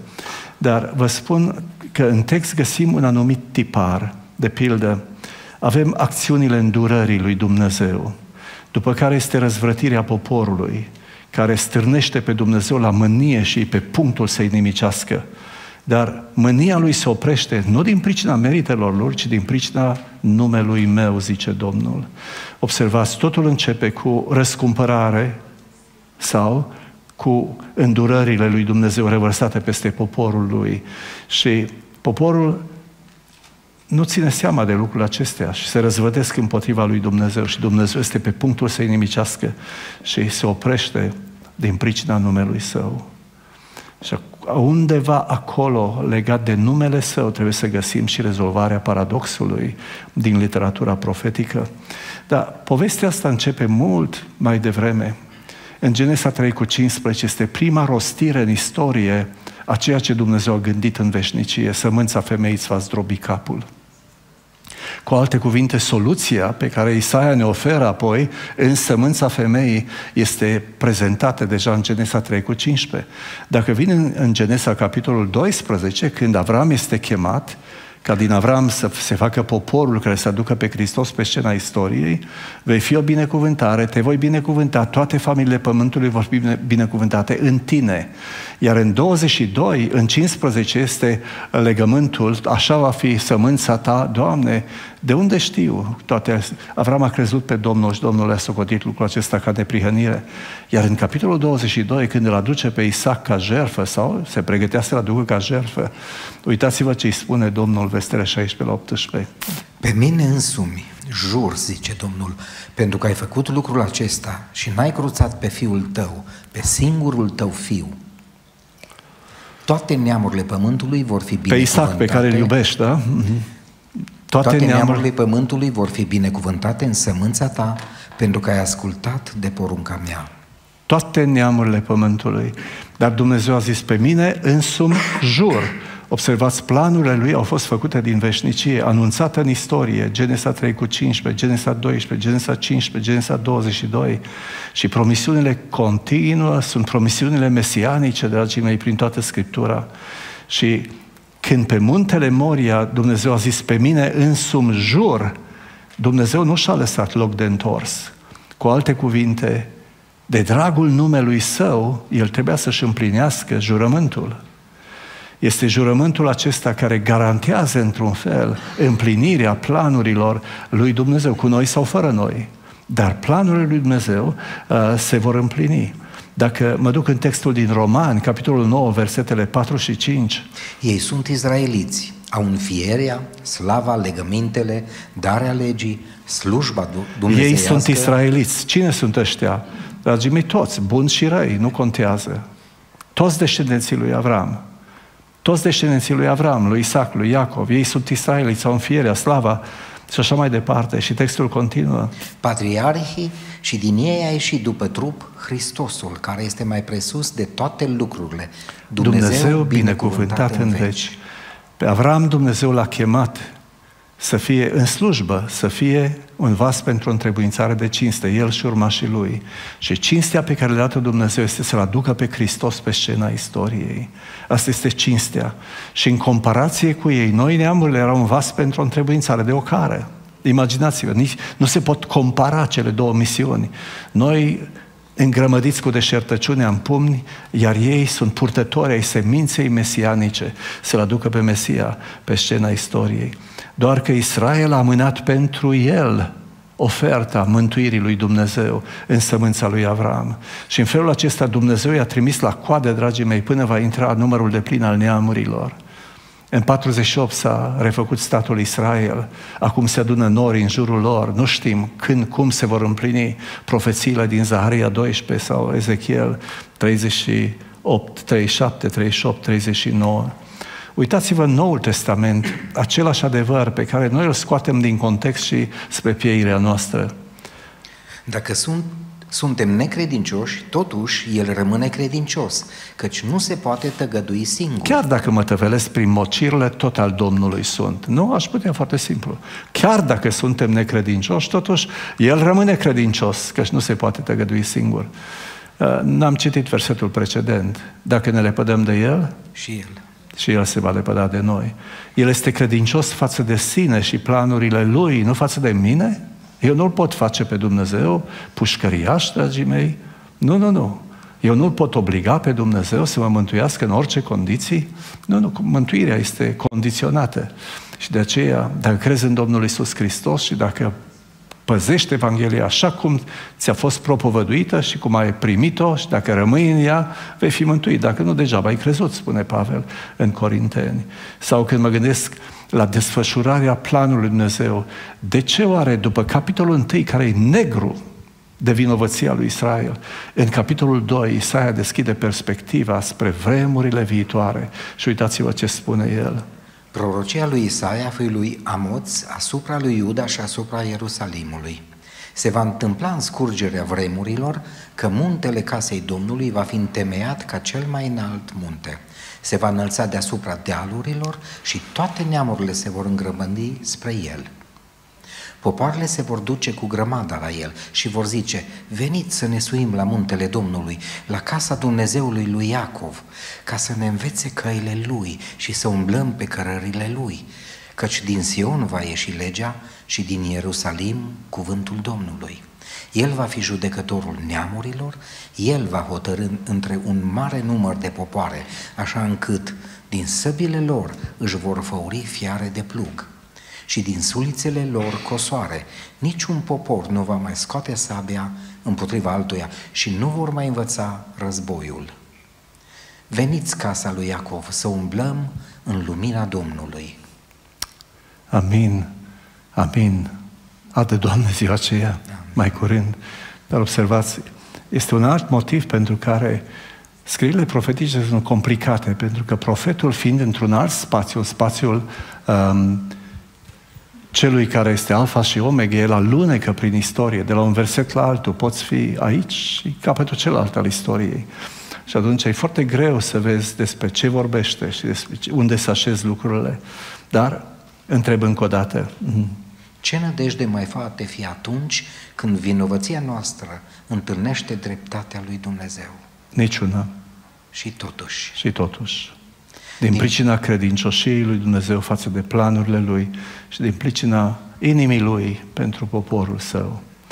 Observați, Isaia prorocește undeva în jurul anului 722, un pic înainte și după aceea. Dar el trăiește căderea Ierusalimului și vorbește despre căderea Ierus- uh, Samariei. Și când mă gândesc la momentul acela, în nord existau doi profeți, Amos și Osea. Și Osea este ultimul din proroci, pe vremea lui cade uh, Samaria. Și uitați-vă doar la două versete din Osea care vin și etalează într-un fel inima lui Dumnezeu pentru poporul lui. cum să te dau, Efraime? Cum să te predau, Israele? Cum să-ți fac ca mei? Cum să te fac ca țebuimului? Mi se zbate inima în mine și tot lăuntrul mi se mișcă de milă. Nu voi lucra după mânia mea aprinsă, nu voi mai nimici pe Efraim, căci eu sunt Dumnezeu, nu un om. Eu sunt Sfântul în mijlocul tău și nu voi veni să prăpădesc. Da? Dar întrebarea este dacă asta simți, Doamne, în inimă, cum transform sentimentul în fapte? Știi? Îndurarea lui Dumnezeu se va manifesta doar cu condiția să nu știrbească dreptatea lui Dumnezeu. Și observați aici tensiune extraordinară între îndurare și dreptate. Între îndurare și dreptate. Și dacă mă întreb cum este posibil lucrul acesta, poate să las pe Pavel din Romani să-mi explice lucrurile. În capitolul 3, versetele 11 la 18, am concluzia lui cu privire la nelegiuirea întregii omeniri. De data aceasta, Pavel deschide perspectiva asupra întregii lumi. Nu mai suntem blocați pe Israel, ci este vorba de absolut noi toți. Versetul 11. Nu este niciunul care să aibă pricepere. Nu este niciunul care să caute cu tot din adinsul pe Dumnezeu. Toți s-au abătut și au ajuns niște netrebnici. Nu este niciunul care să facă binele, nici unul măcar. Gâtlejul lor este un mormânt deschis. Se slujesc de limbile lor ca să înșele, sub buze au venit de aspidă. Gura le este plină de blestem și de amărăciune. Au picioarele grabnice să verse sânge.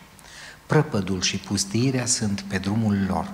Nu cunosc calea păcii. Frica de Dumnezeu nu este înaintea ochilor lor. Wow, când ai o astfel de, un astfel de rechizitoriu la adresa întregii omeniri, ce nădejde este când vinovăția noastră întâlnește dreptatea lui Dumnezeu? Niciuna. Și totuși, uitați-vă la versetele următoare. Dar acum s-a arătat o neprihănire pe care o dă Dumnezeu fără lege. Despre, Despre ea mărturisesc legea și prorocii. Și anume, neprihănirea dată de Dumnezeu, care vine prin credința în Isus Hristos, pentru toți și peste toți cei ce cred în El. Neprihănirea care este în Isus Hristos, pentru toți cei ce cred în El. Observați, taina care dezleagă paradoxul mântuirii este robul Domnului.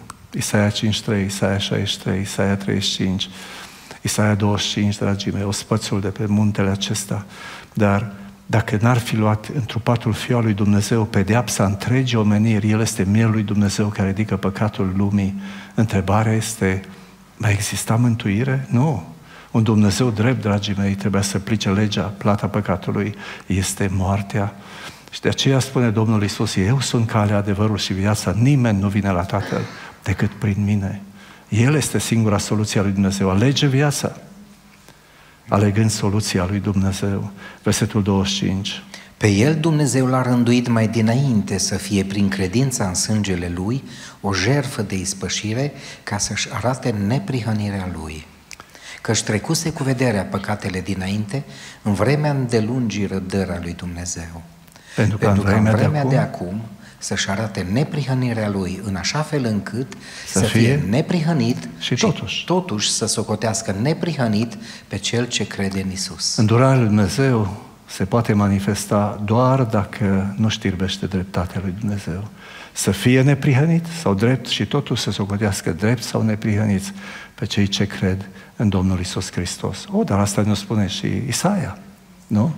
Capitolul 9, versetul 27, Sionul va fi mântuit prin judecată și cei ce se vor întoarce la Domnul vor fi mântuiți prin? Dreptate. Dreptate. Cu alte cuvinte, Hristos, dragii mei, trebuie să apere dreptatea lui Dumnezeu, să dovedească dreptatea lui Dumnezeu și mântuirea nu poate fi oferită pe ochi frumoși, numai prin judecată și dreptate. Dacă Dumnezeu nu rămâne neprihănit, eu nu pot fi socotit neprihănit. Și asta este condiția pe care o spune Pavel, în capitolul 3 spune ca tu să ești, tu să ieși neprihănit când vei fi judecat. Cel care este judecat pentru mântuirea care oferă este mai întâi Dumnezeu. Și dacă El nu rămâne drept, dragii mei, nu ne poate socoti pe noi drepți. Și aici este taina mântuirii Lui în Hristos, care este în miezul cărții, în miezul cărții Isaia. Pe de o parte, Ioan 3 cu 16. Atât de mult a iubit Dumnezeu lumea. Cum să te dau, Efraine? Cum să-ți fac cadmei? Cum să te fac Cațebăimul? Pe de altă parte, este Evrei, capitolul 10. Cine va călca în picioare pe Fiul lui Dumnezeu, va pângări sângele legământului care a fost sfințit și va batjocori Duhul Harului. Rămâne fără jertfă, dragii mei, și grozav lucruri să case în mâinile Dumnezeului celui viu. Am vorbit de legătura cu Deuteronomul, de locul în istorie și locul în inima lui Dumnezeu, de perspectiva din care este scrisă cartea. Și aș vrea să închei cu structura cărții și cu mesajul cărții și poate rămâne relevanța cărții pentru uh, data viitoare, dacă vor fi întrebări. Mm. Dar când mă gândesc la structura cărții, Titi mi-a răbărit problema, așa că eu nu mai trebuie să adaug nimic la ea. O vedeți cum e, toată uh, structura cărții în een. Um, o imagine.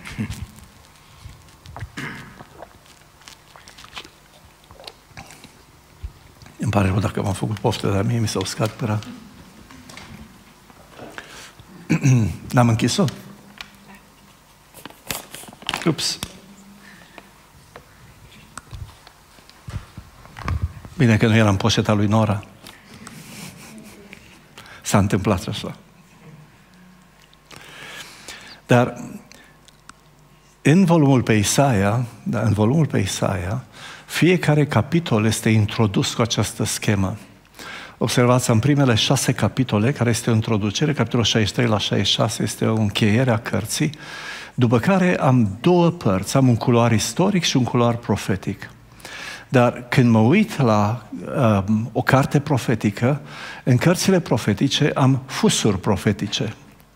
Uh, mie îmi vine în minte bunica mea, când mergeam și o vizitam peste deal, era bătrână și cu fusul în mână și torcea fuiorul, da? Și imaginați-vă fusul acela împlântat într-un eveniment istoric și în, în jurul evenimentului prorocul a tot rostit oracole. Și când miști fusul respectiv, adună oracole într-un fus profetic. Și dacă pentru asta este foarte important să identifici anii în jurul cărora se adună fusurile profetice. De pildă 735 este urcarea pe tron a lui Ahaz, 715 este urcarea pe tron al lui Ezechia. 711 este coaliția militară pe care el organizează, sapă tunelul, an la rând lucrează pe el ca să pregătească într-un fel răzvrătirea împotriva Siriei. Dar de ce s-a răzvrătit? Pentru că birurile erau uriașe. Uriașe birurile. Și tot poporul trebuia să plătească împăraților, suzeranilor. Și pe urmă în 701 este atacat și aici este războiul acela dintre Senaherib unde Dumnezeu intervine din pricina mândriei lui Rapșache și 185 de mii de soldați mor. Și când aude Babilonul care împingea și împungea împotriva, Babilon, împotriva Asiriei, Asiria era în nord și Babilonul venea din, din sud, dragii mei, și Merodac Baladan era atunci cel care încerca să cucerească Asiria și când a auzit de ce s-a întâmplat în țărișoara asta mică, au trimis o delegație cu daruri la Ezechia. Și Ezechia, în loc să arate spre Dumnezeu, arată sala lui de arme și sala de arme și arată bogățiile lui. Și vine Isaia, zice, îmi pare rău, tot ce au văzut vor fi dus împreună cu ce ieșiți din coapsele tale, robi. Ah, după mine potopul, cel puțin în vremea mea va fi pace. Da? O uitat că șade pe scaunul de domnie al Domnului. Dar observați, asta este inima omului. Doi împărați, Ahaz și Ezechia. Și pe urmă am inima lui Dumnezeu. Pentru că cele trei fusuri profetice, am 539, repatrierea, capitolul 40 cu versetul 1, așa începe, 539, 538, și pe urmă am vremurile mesianice și vremurile scatologice. Și observați, în jurul acestor fusuri profetice se structurează cartea. Se structurează cartea. Dar ce e un fus profetic? Prorocul este un om al vremii lui. Stă uite aici. El nu latră la lună sau urlă la lună ca și lupii, ci el vorbește cu oamenii din fața lui. De pildă, în capitolul 20 îl vezi pe Isaia umblând gol prin cetate trei ani de zile. Imaginați-vă rușinea, da? Pe lângă ce o pățit Ezechiel, asta e nimica, da? Ezechiel, în Babilon. Și el vorbește și vorbește în desaga lui profetică ca și desaga românească. În fața are promisiuni, în spate are blesteme. Pentru că legământul, ați văzut, implicațiile legământului în Deuteronom, binecuvântări și blesteme. Și atunci Dumnezeu, prin binecuvântări, te atrage cu funile dragostei Lui, prin blesteme te sperie să te aducă la El. Dar în ambele cazuri, dorința lui Dumnezeu este să te aducă înapoi în relație, în relația cu El. Și atunci, în fusul profetic, practic, văd că operează în două direcțiuni. În spațiul binecuvântării și spațiul blestemului. Dar ce spațiul binecuvântării și al blestemului?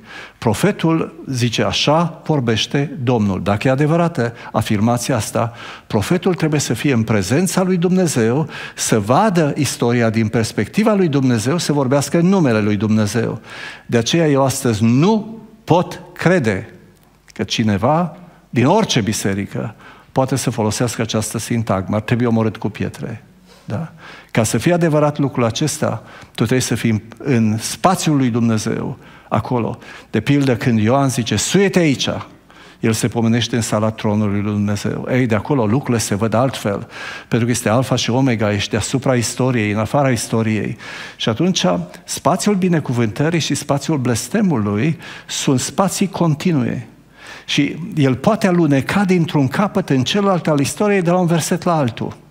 Și asta face complicată interpretarea profețiilor, a tuturor profețiilor, din pricina felului în care operează un fus profetic. Observați, am un acum profetic sau un prezent profetic și am un viitor profetic, care poate fi în două direcții, fie în direcția pozitivă, un viitor imediat, mesianic sau escatologic, sau un viitor, un blestem imediat, anticristic sau escatologic. Și atunci, când intri în spațiul acesta, când profetul intră în spațiul acesta, el alunecă ca pe o gheață, dintr-o parte în alta. Și în felul acesta, el vine și deschide înaintea noastră perspectiva lui Dumnezeu asupra istoriei. Cum își permite Isaia să întoarcă spatele istoriei, să vorbească despre lucruri care se vor întâmpla 160 de ani mai târziu? Cum își permite? Cine este el? Dragii mei, dacă el nu vorbește din perspectiva lui Dumnezeu, astea sunt așa, povești. În, și de aceea cei care nu cred în Dumnezeu și studiază Scriptura, în, mai ales în lumea modernă, vorbesc despre post-eventum. Nu, nu, nu pot fi profeții care să vorbească despre ce va fi preziceri în viitor, ci ele au fost scrise după ce s-au întâmplat lucrurile. Uitați-vă în cartea Daniel, aceeași poveste. Da. O, după ce a venit Antioch Epifane și a desacralizat templul, cine știe cine a scris cartea asta și în felul ăsta sunt aruncate în aer, într-un fel, drepturile de autor a majorității cărților, mai ales în cărțile profetice. Dar fusurile profetice adună în jurul lor oracole profetice legate de un anumit, de anumit eveniment. Dacă așez cartea înaintea mea, am primele șase capitole cu introducerea din primele nouă versete. În capitolul șase este chemat în slujbă și primește mandatul său, după care am uh, observați, aici aveți și blocurile de text din carte. Și în felul ăsta poți călători prin cartea Isaia. Ezechiel, de pildă, este extraordinar. De ce? Pentru că el spune, anul al cincilea, anul al șaselea, anul al zecelea. Și tu știi unde ești în istorie. Poți citi în afară cărțile istorice, să vezi evenimentele din vremurile respective și în felul ăsta poți corobora, într-un fel, scrierile biblice cu analele istoriei. Dar aveți fusurile profetice, întronarea lui Ezechiel, lui Ahaz, lui Ezechiel, uh, coaliția a lui Ezechia, coaliția militară, anul 701, și de aici Isaia întoarce spatele istoriei și aveți celelalte trei fusuri profetice, întoarcerea din robia babiloniană, pe urmă perioada mesianică și perioada escatologică. Care să fie mesajul cărții? Observați cu câtă responsabilitate mă încarcă acela așa vorbește Domnul.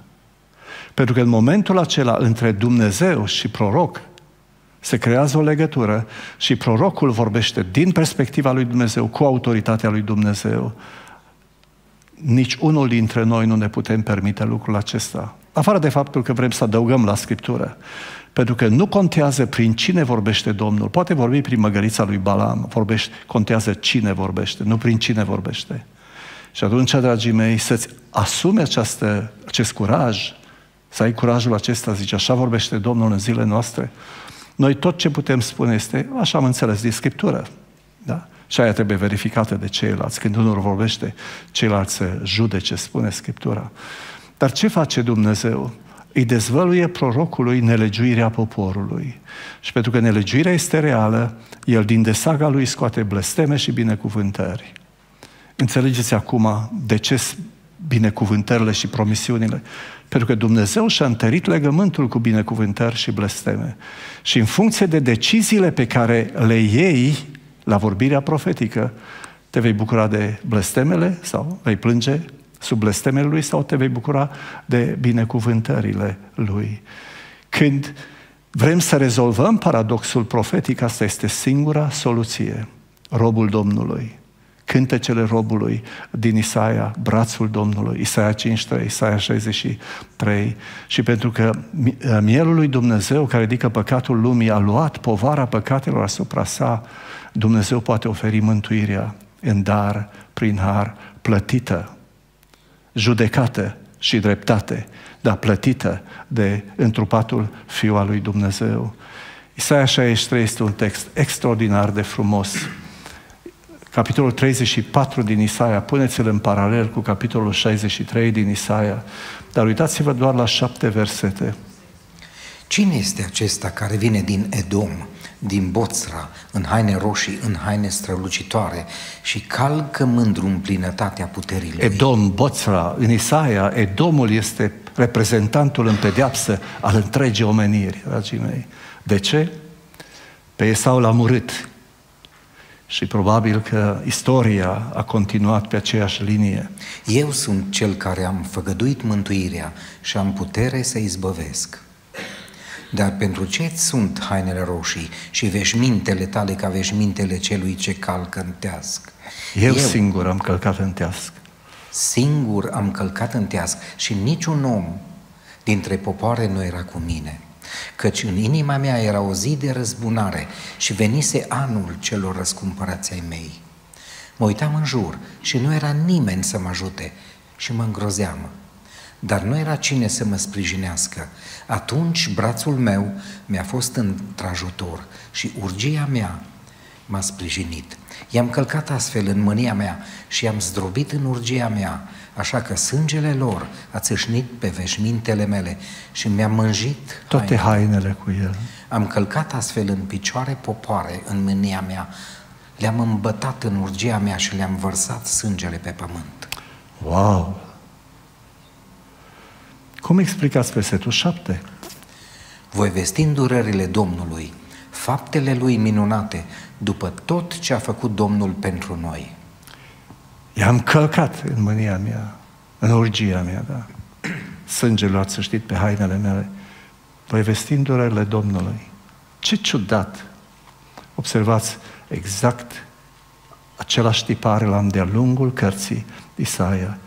Mă gândesc la felul în care Domnul Isus și-a inaugurat lucrarea Lui.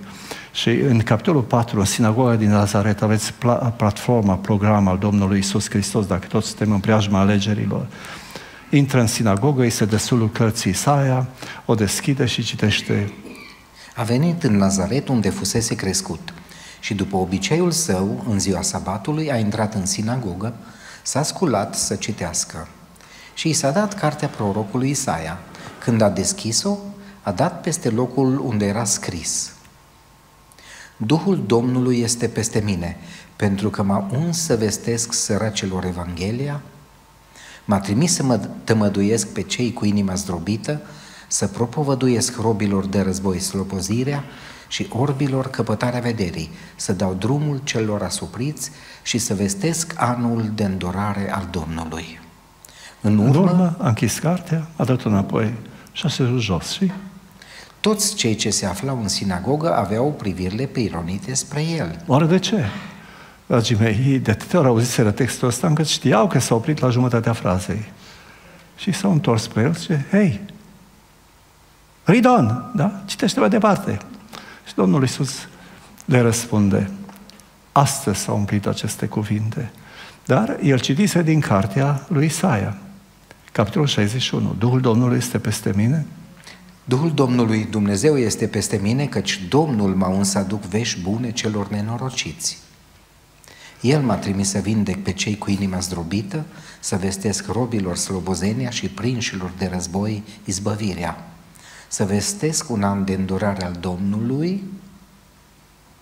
închis cartea, a dat înapoi îngrijitorului și a șezut jos. Și a sărit peste, peste ce? Și o zi de răzbunare a Domnului de răzbunare. Dumnezeului nostru.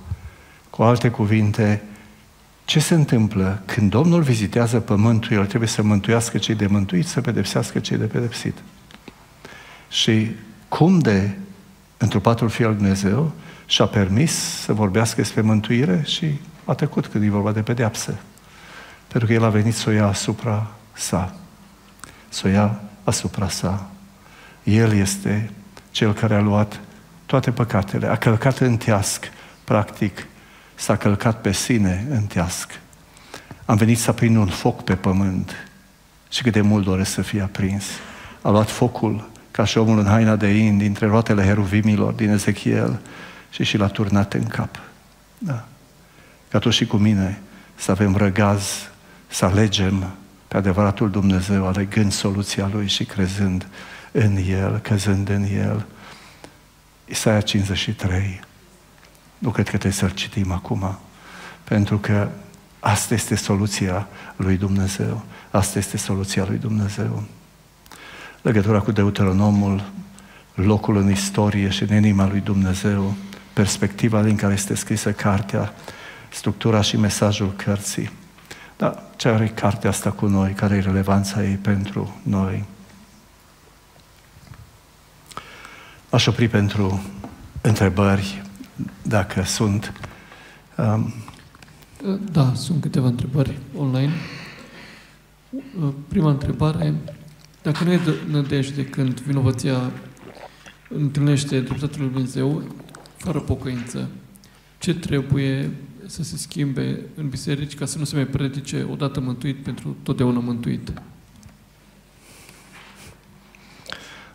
Bisericile ar trebui să deschidă Biblia și să, să predice Biblia, nu teologiile lor.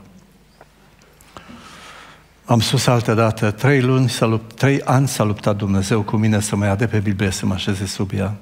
Pentru că am crescut cu misionari care veneau din zona respectivă, one saved, always saved, da?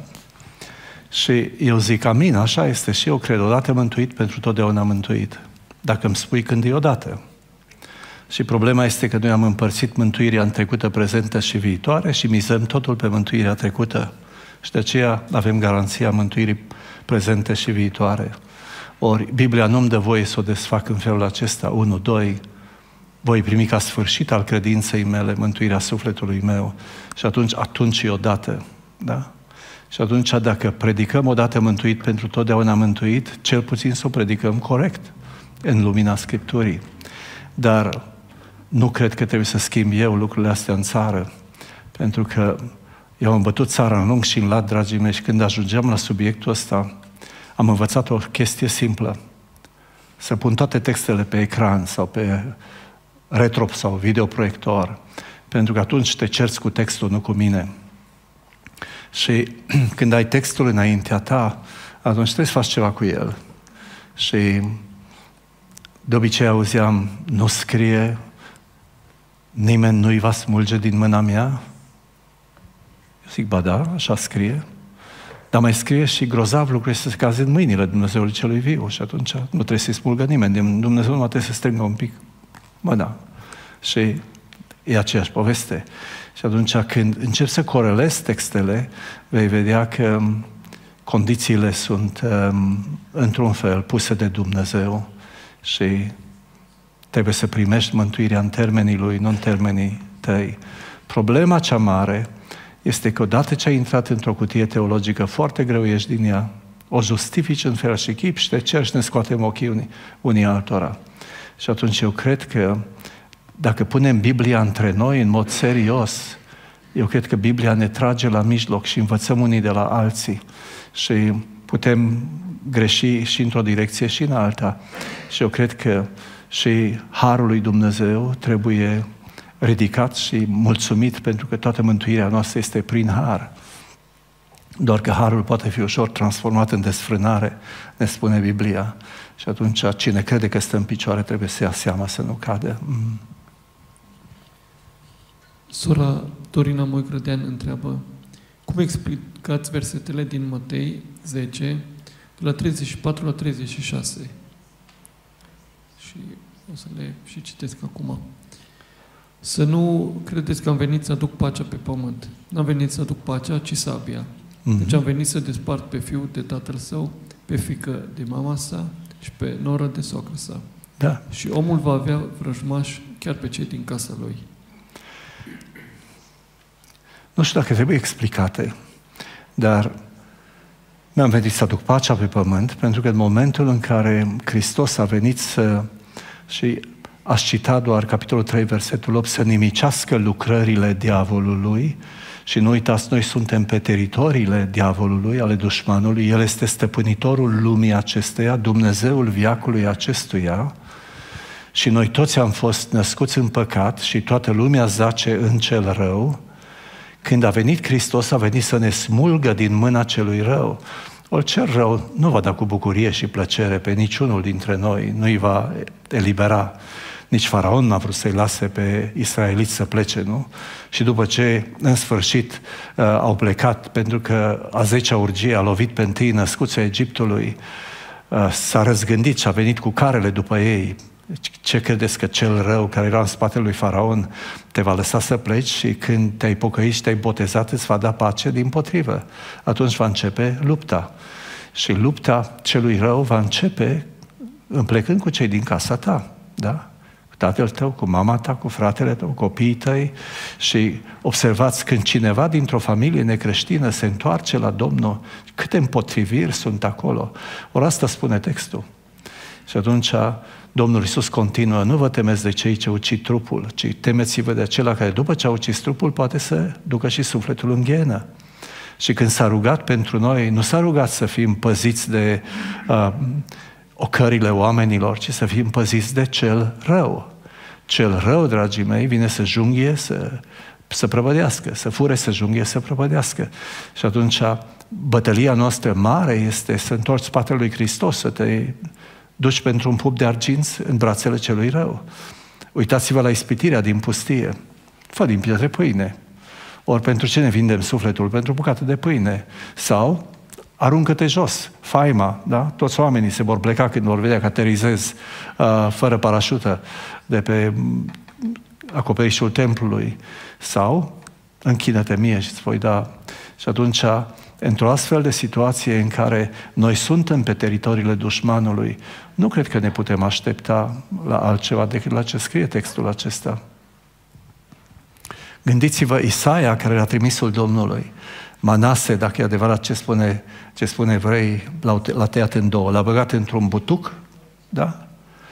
Și l-au tăiat cu jogărul în două, de viu, pe Isaia, pe trimisul Domnului pe Fiul lui Dumnezeu, l-au atârnat pe o cruce, l-au scopat și l-au bagiocorit. Și dacă pomului verde i s-a făcut așa, ce se va face celui uscat?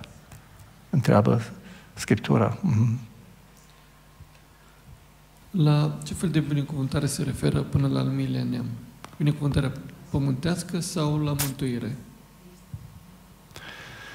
Acum, probabil că binecuvântarea pe care Dumnezeu ar dori-o tuturor oamenilor Observați în 1 Timotei, capitolul 2, spune, rugați-vă pentru împărați, pentru cei înălțați în dregătorii, să putem duce o viață pașnică și liniștită, cu toată evlavia și cu toată cinstea. Și o viață liniștită, trăită cu evlavie, adică cu intenționalitatea de a fi lumină și sare, și cu toată cinstea în cele materiale, o pui în mâna lui Dumnezeu, că El voiește să mântuiască pe toți oamenii. Și atunci, binecuvântarea ultimă pe care Dumnezeu ne-o dorește nouă și copiilor noștri este mântuirea sufletului nostru. Dacă Dumnezeu s-ar limita la binecuvântările materiale pe care le-a promis uh, lui Israel, da?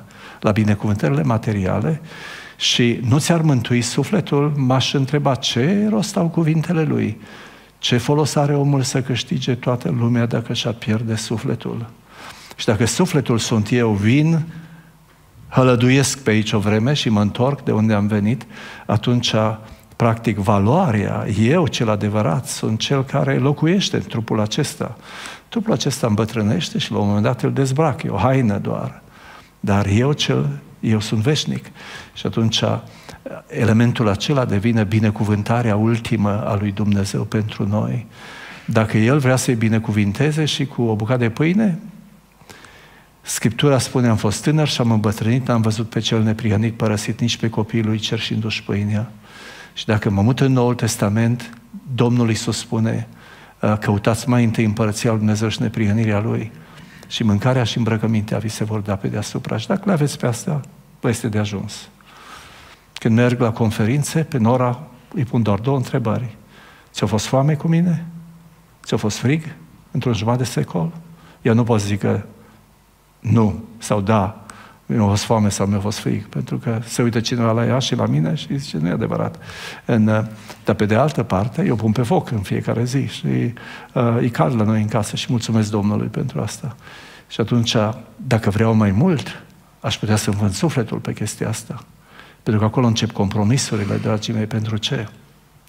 Pentru aurul cel bun și pentru piatra de onix și bedelion. Astea sunt ispitele celui rău. Dar binecuvântarea pe care El dorește să ne ofere este cea pentru care a venit Hristos să moară în locul nostru. Mm. Și... Uite, pen, pentru, cei, pentru cei de pe da. ecran. Da. Când ne-ai arătat fusul profetic, mă gândeam, pe măsură ce citeam cartea, ne poți da așa o cât de cât o regulă, o rețetă, când să vedem simbolism în lucrurile de acolo și când să le luăm mai motamo? Că dacă mă uit la Pavel, văd că uneori pare să ne sugereze că e simbolic, alteori ne le ia motamo. Nu știu, mă gândesc că ai citit și cărți scrise înainte de apariția statului Israel și poate că ei acolo prezentau totul simbolic. După aia... O regulă simplă. Poate să dăm dreptate, dar verificați și voi că se discută lucrul acesta. Tot ce nu pot lua în sens literal e un sens simbolic. De pildă, citiți psalmii 93 la 100. Îi vom avea înaintea noastră. Scriptura e plină de metafore. Isaia e plină de metafore. Da? Iar atunci când o metaforă este clară, atunci e în sens metaforic. Da, în sens metaforic. Probabil, în afară de sens simbolic, l-aș lua sensul metaforic. Simbolurile l-aș lua de pildă când e vorba de pildă capetele fiarei din Apocalipsa. Acolo el vorbește în sens simbolic. Dar Scriptura, mai ales într-o carte profetică, pentru că o carte profetică este scrisă în momentul în care relația pârâie, e pe punctul de a se rupe. Și rolul profetului este ultima vorbire a lui Dumnezeu ca să nu fugi de el, să te întorci spre el, să refaci relația cu Dumnezeu. Și din pricina momentului și a funcției profeției, Dumnezeu încearcă să mă găsească pe toate palierele existenței mele.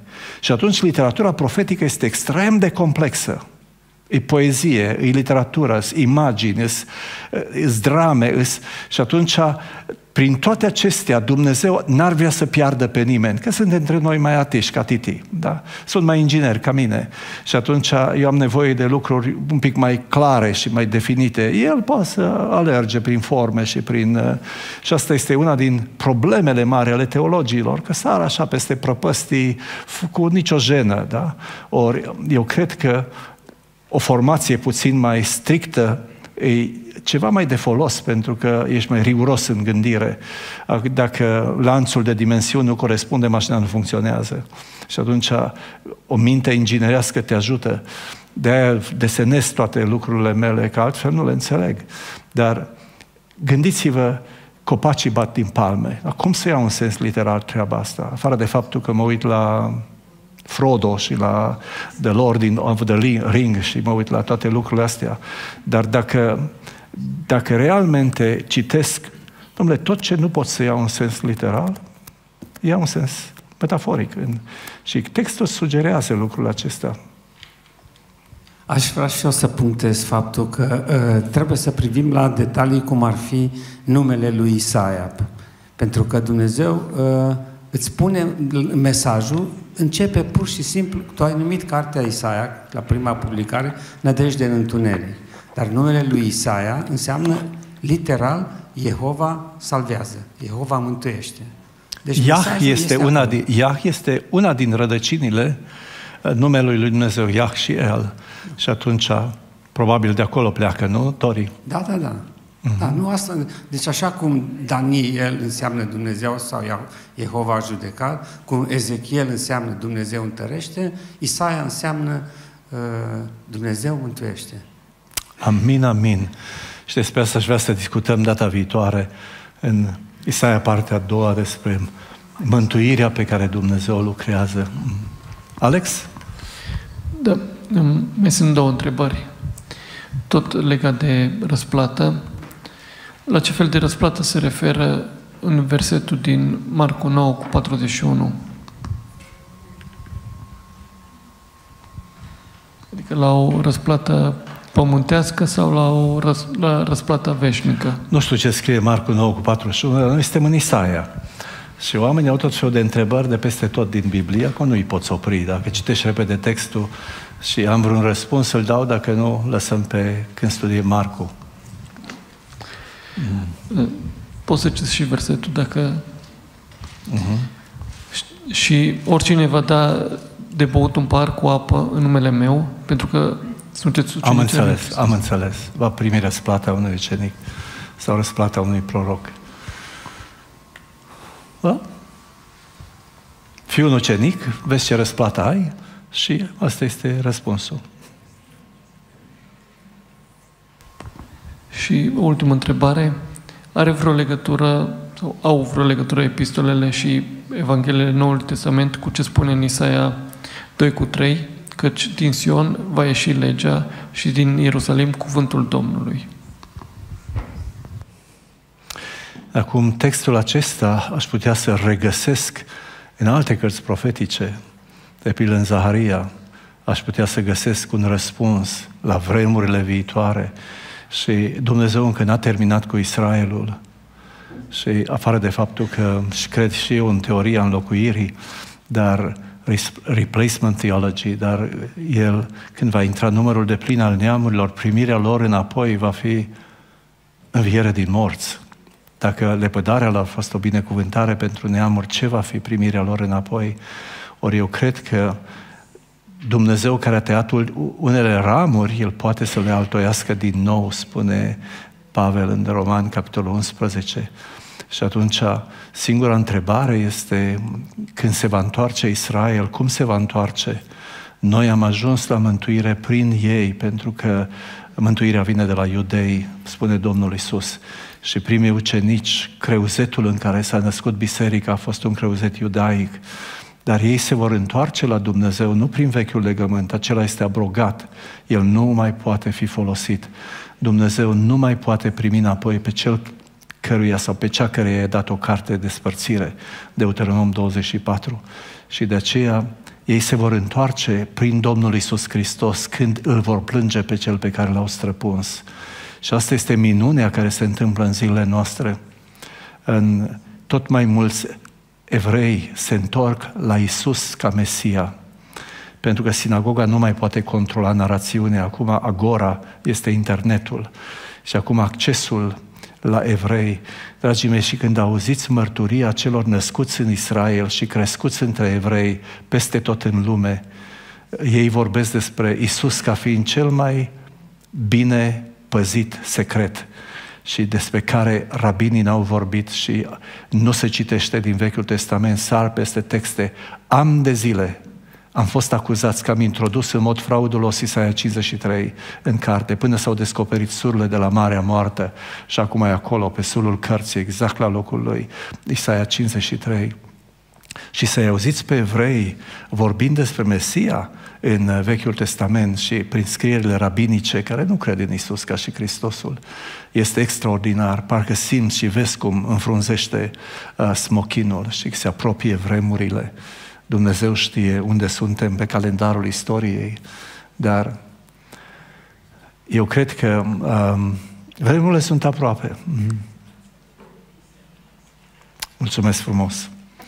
Și probabil că relevanța cărții o să o lăsăm pe data viitoare. Și vă spun și de ce.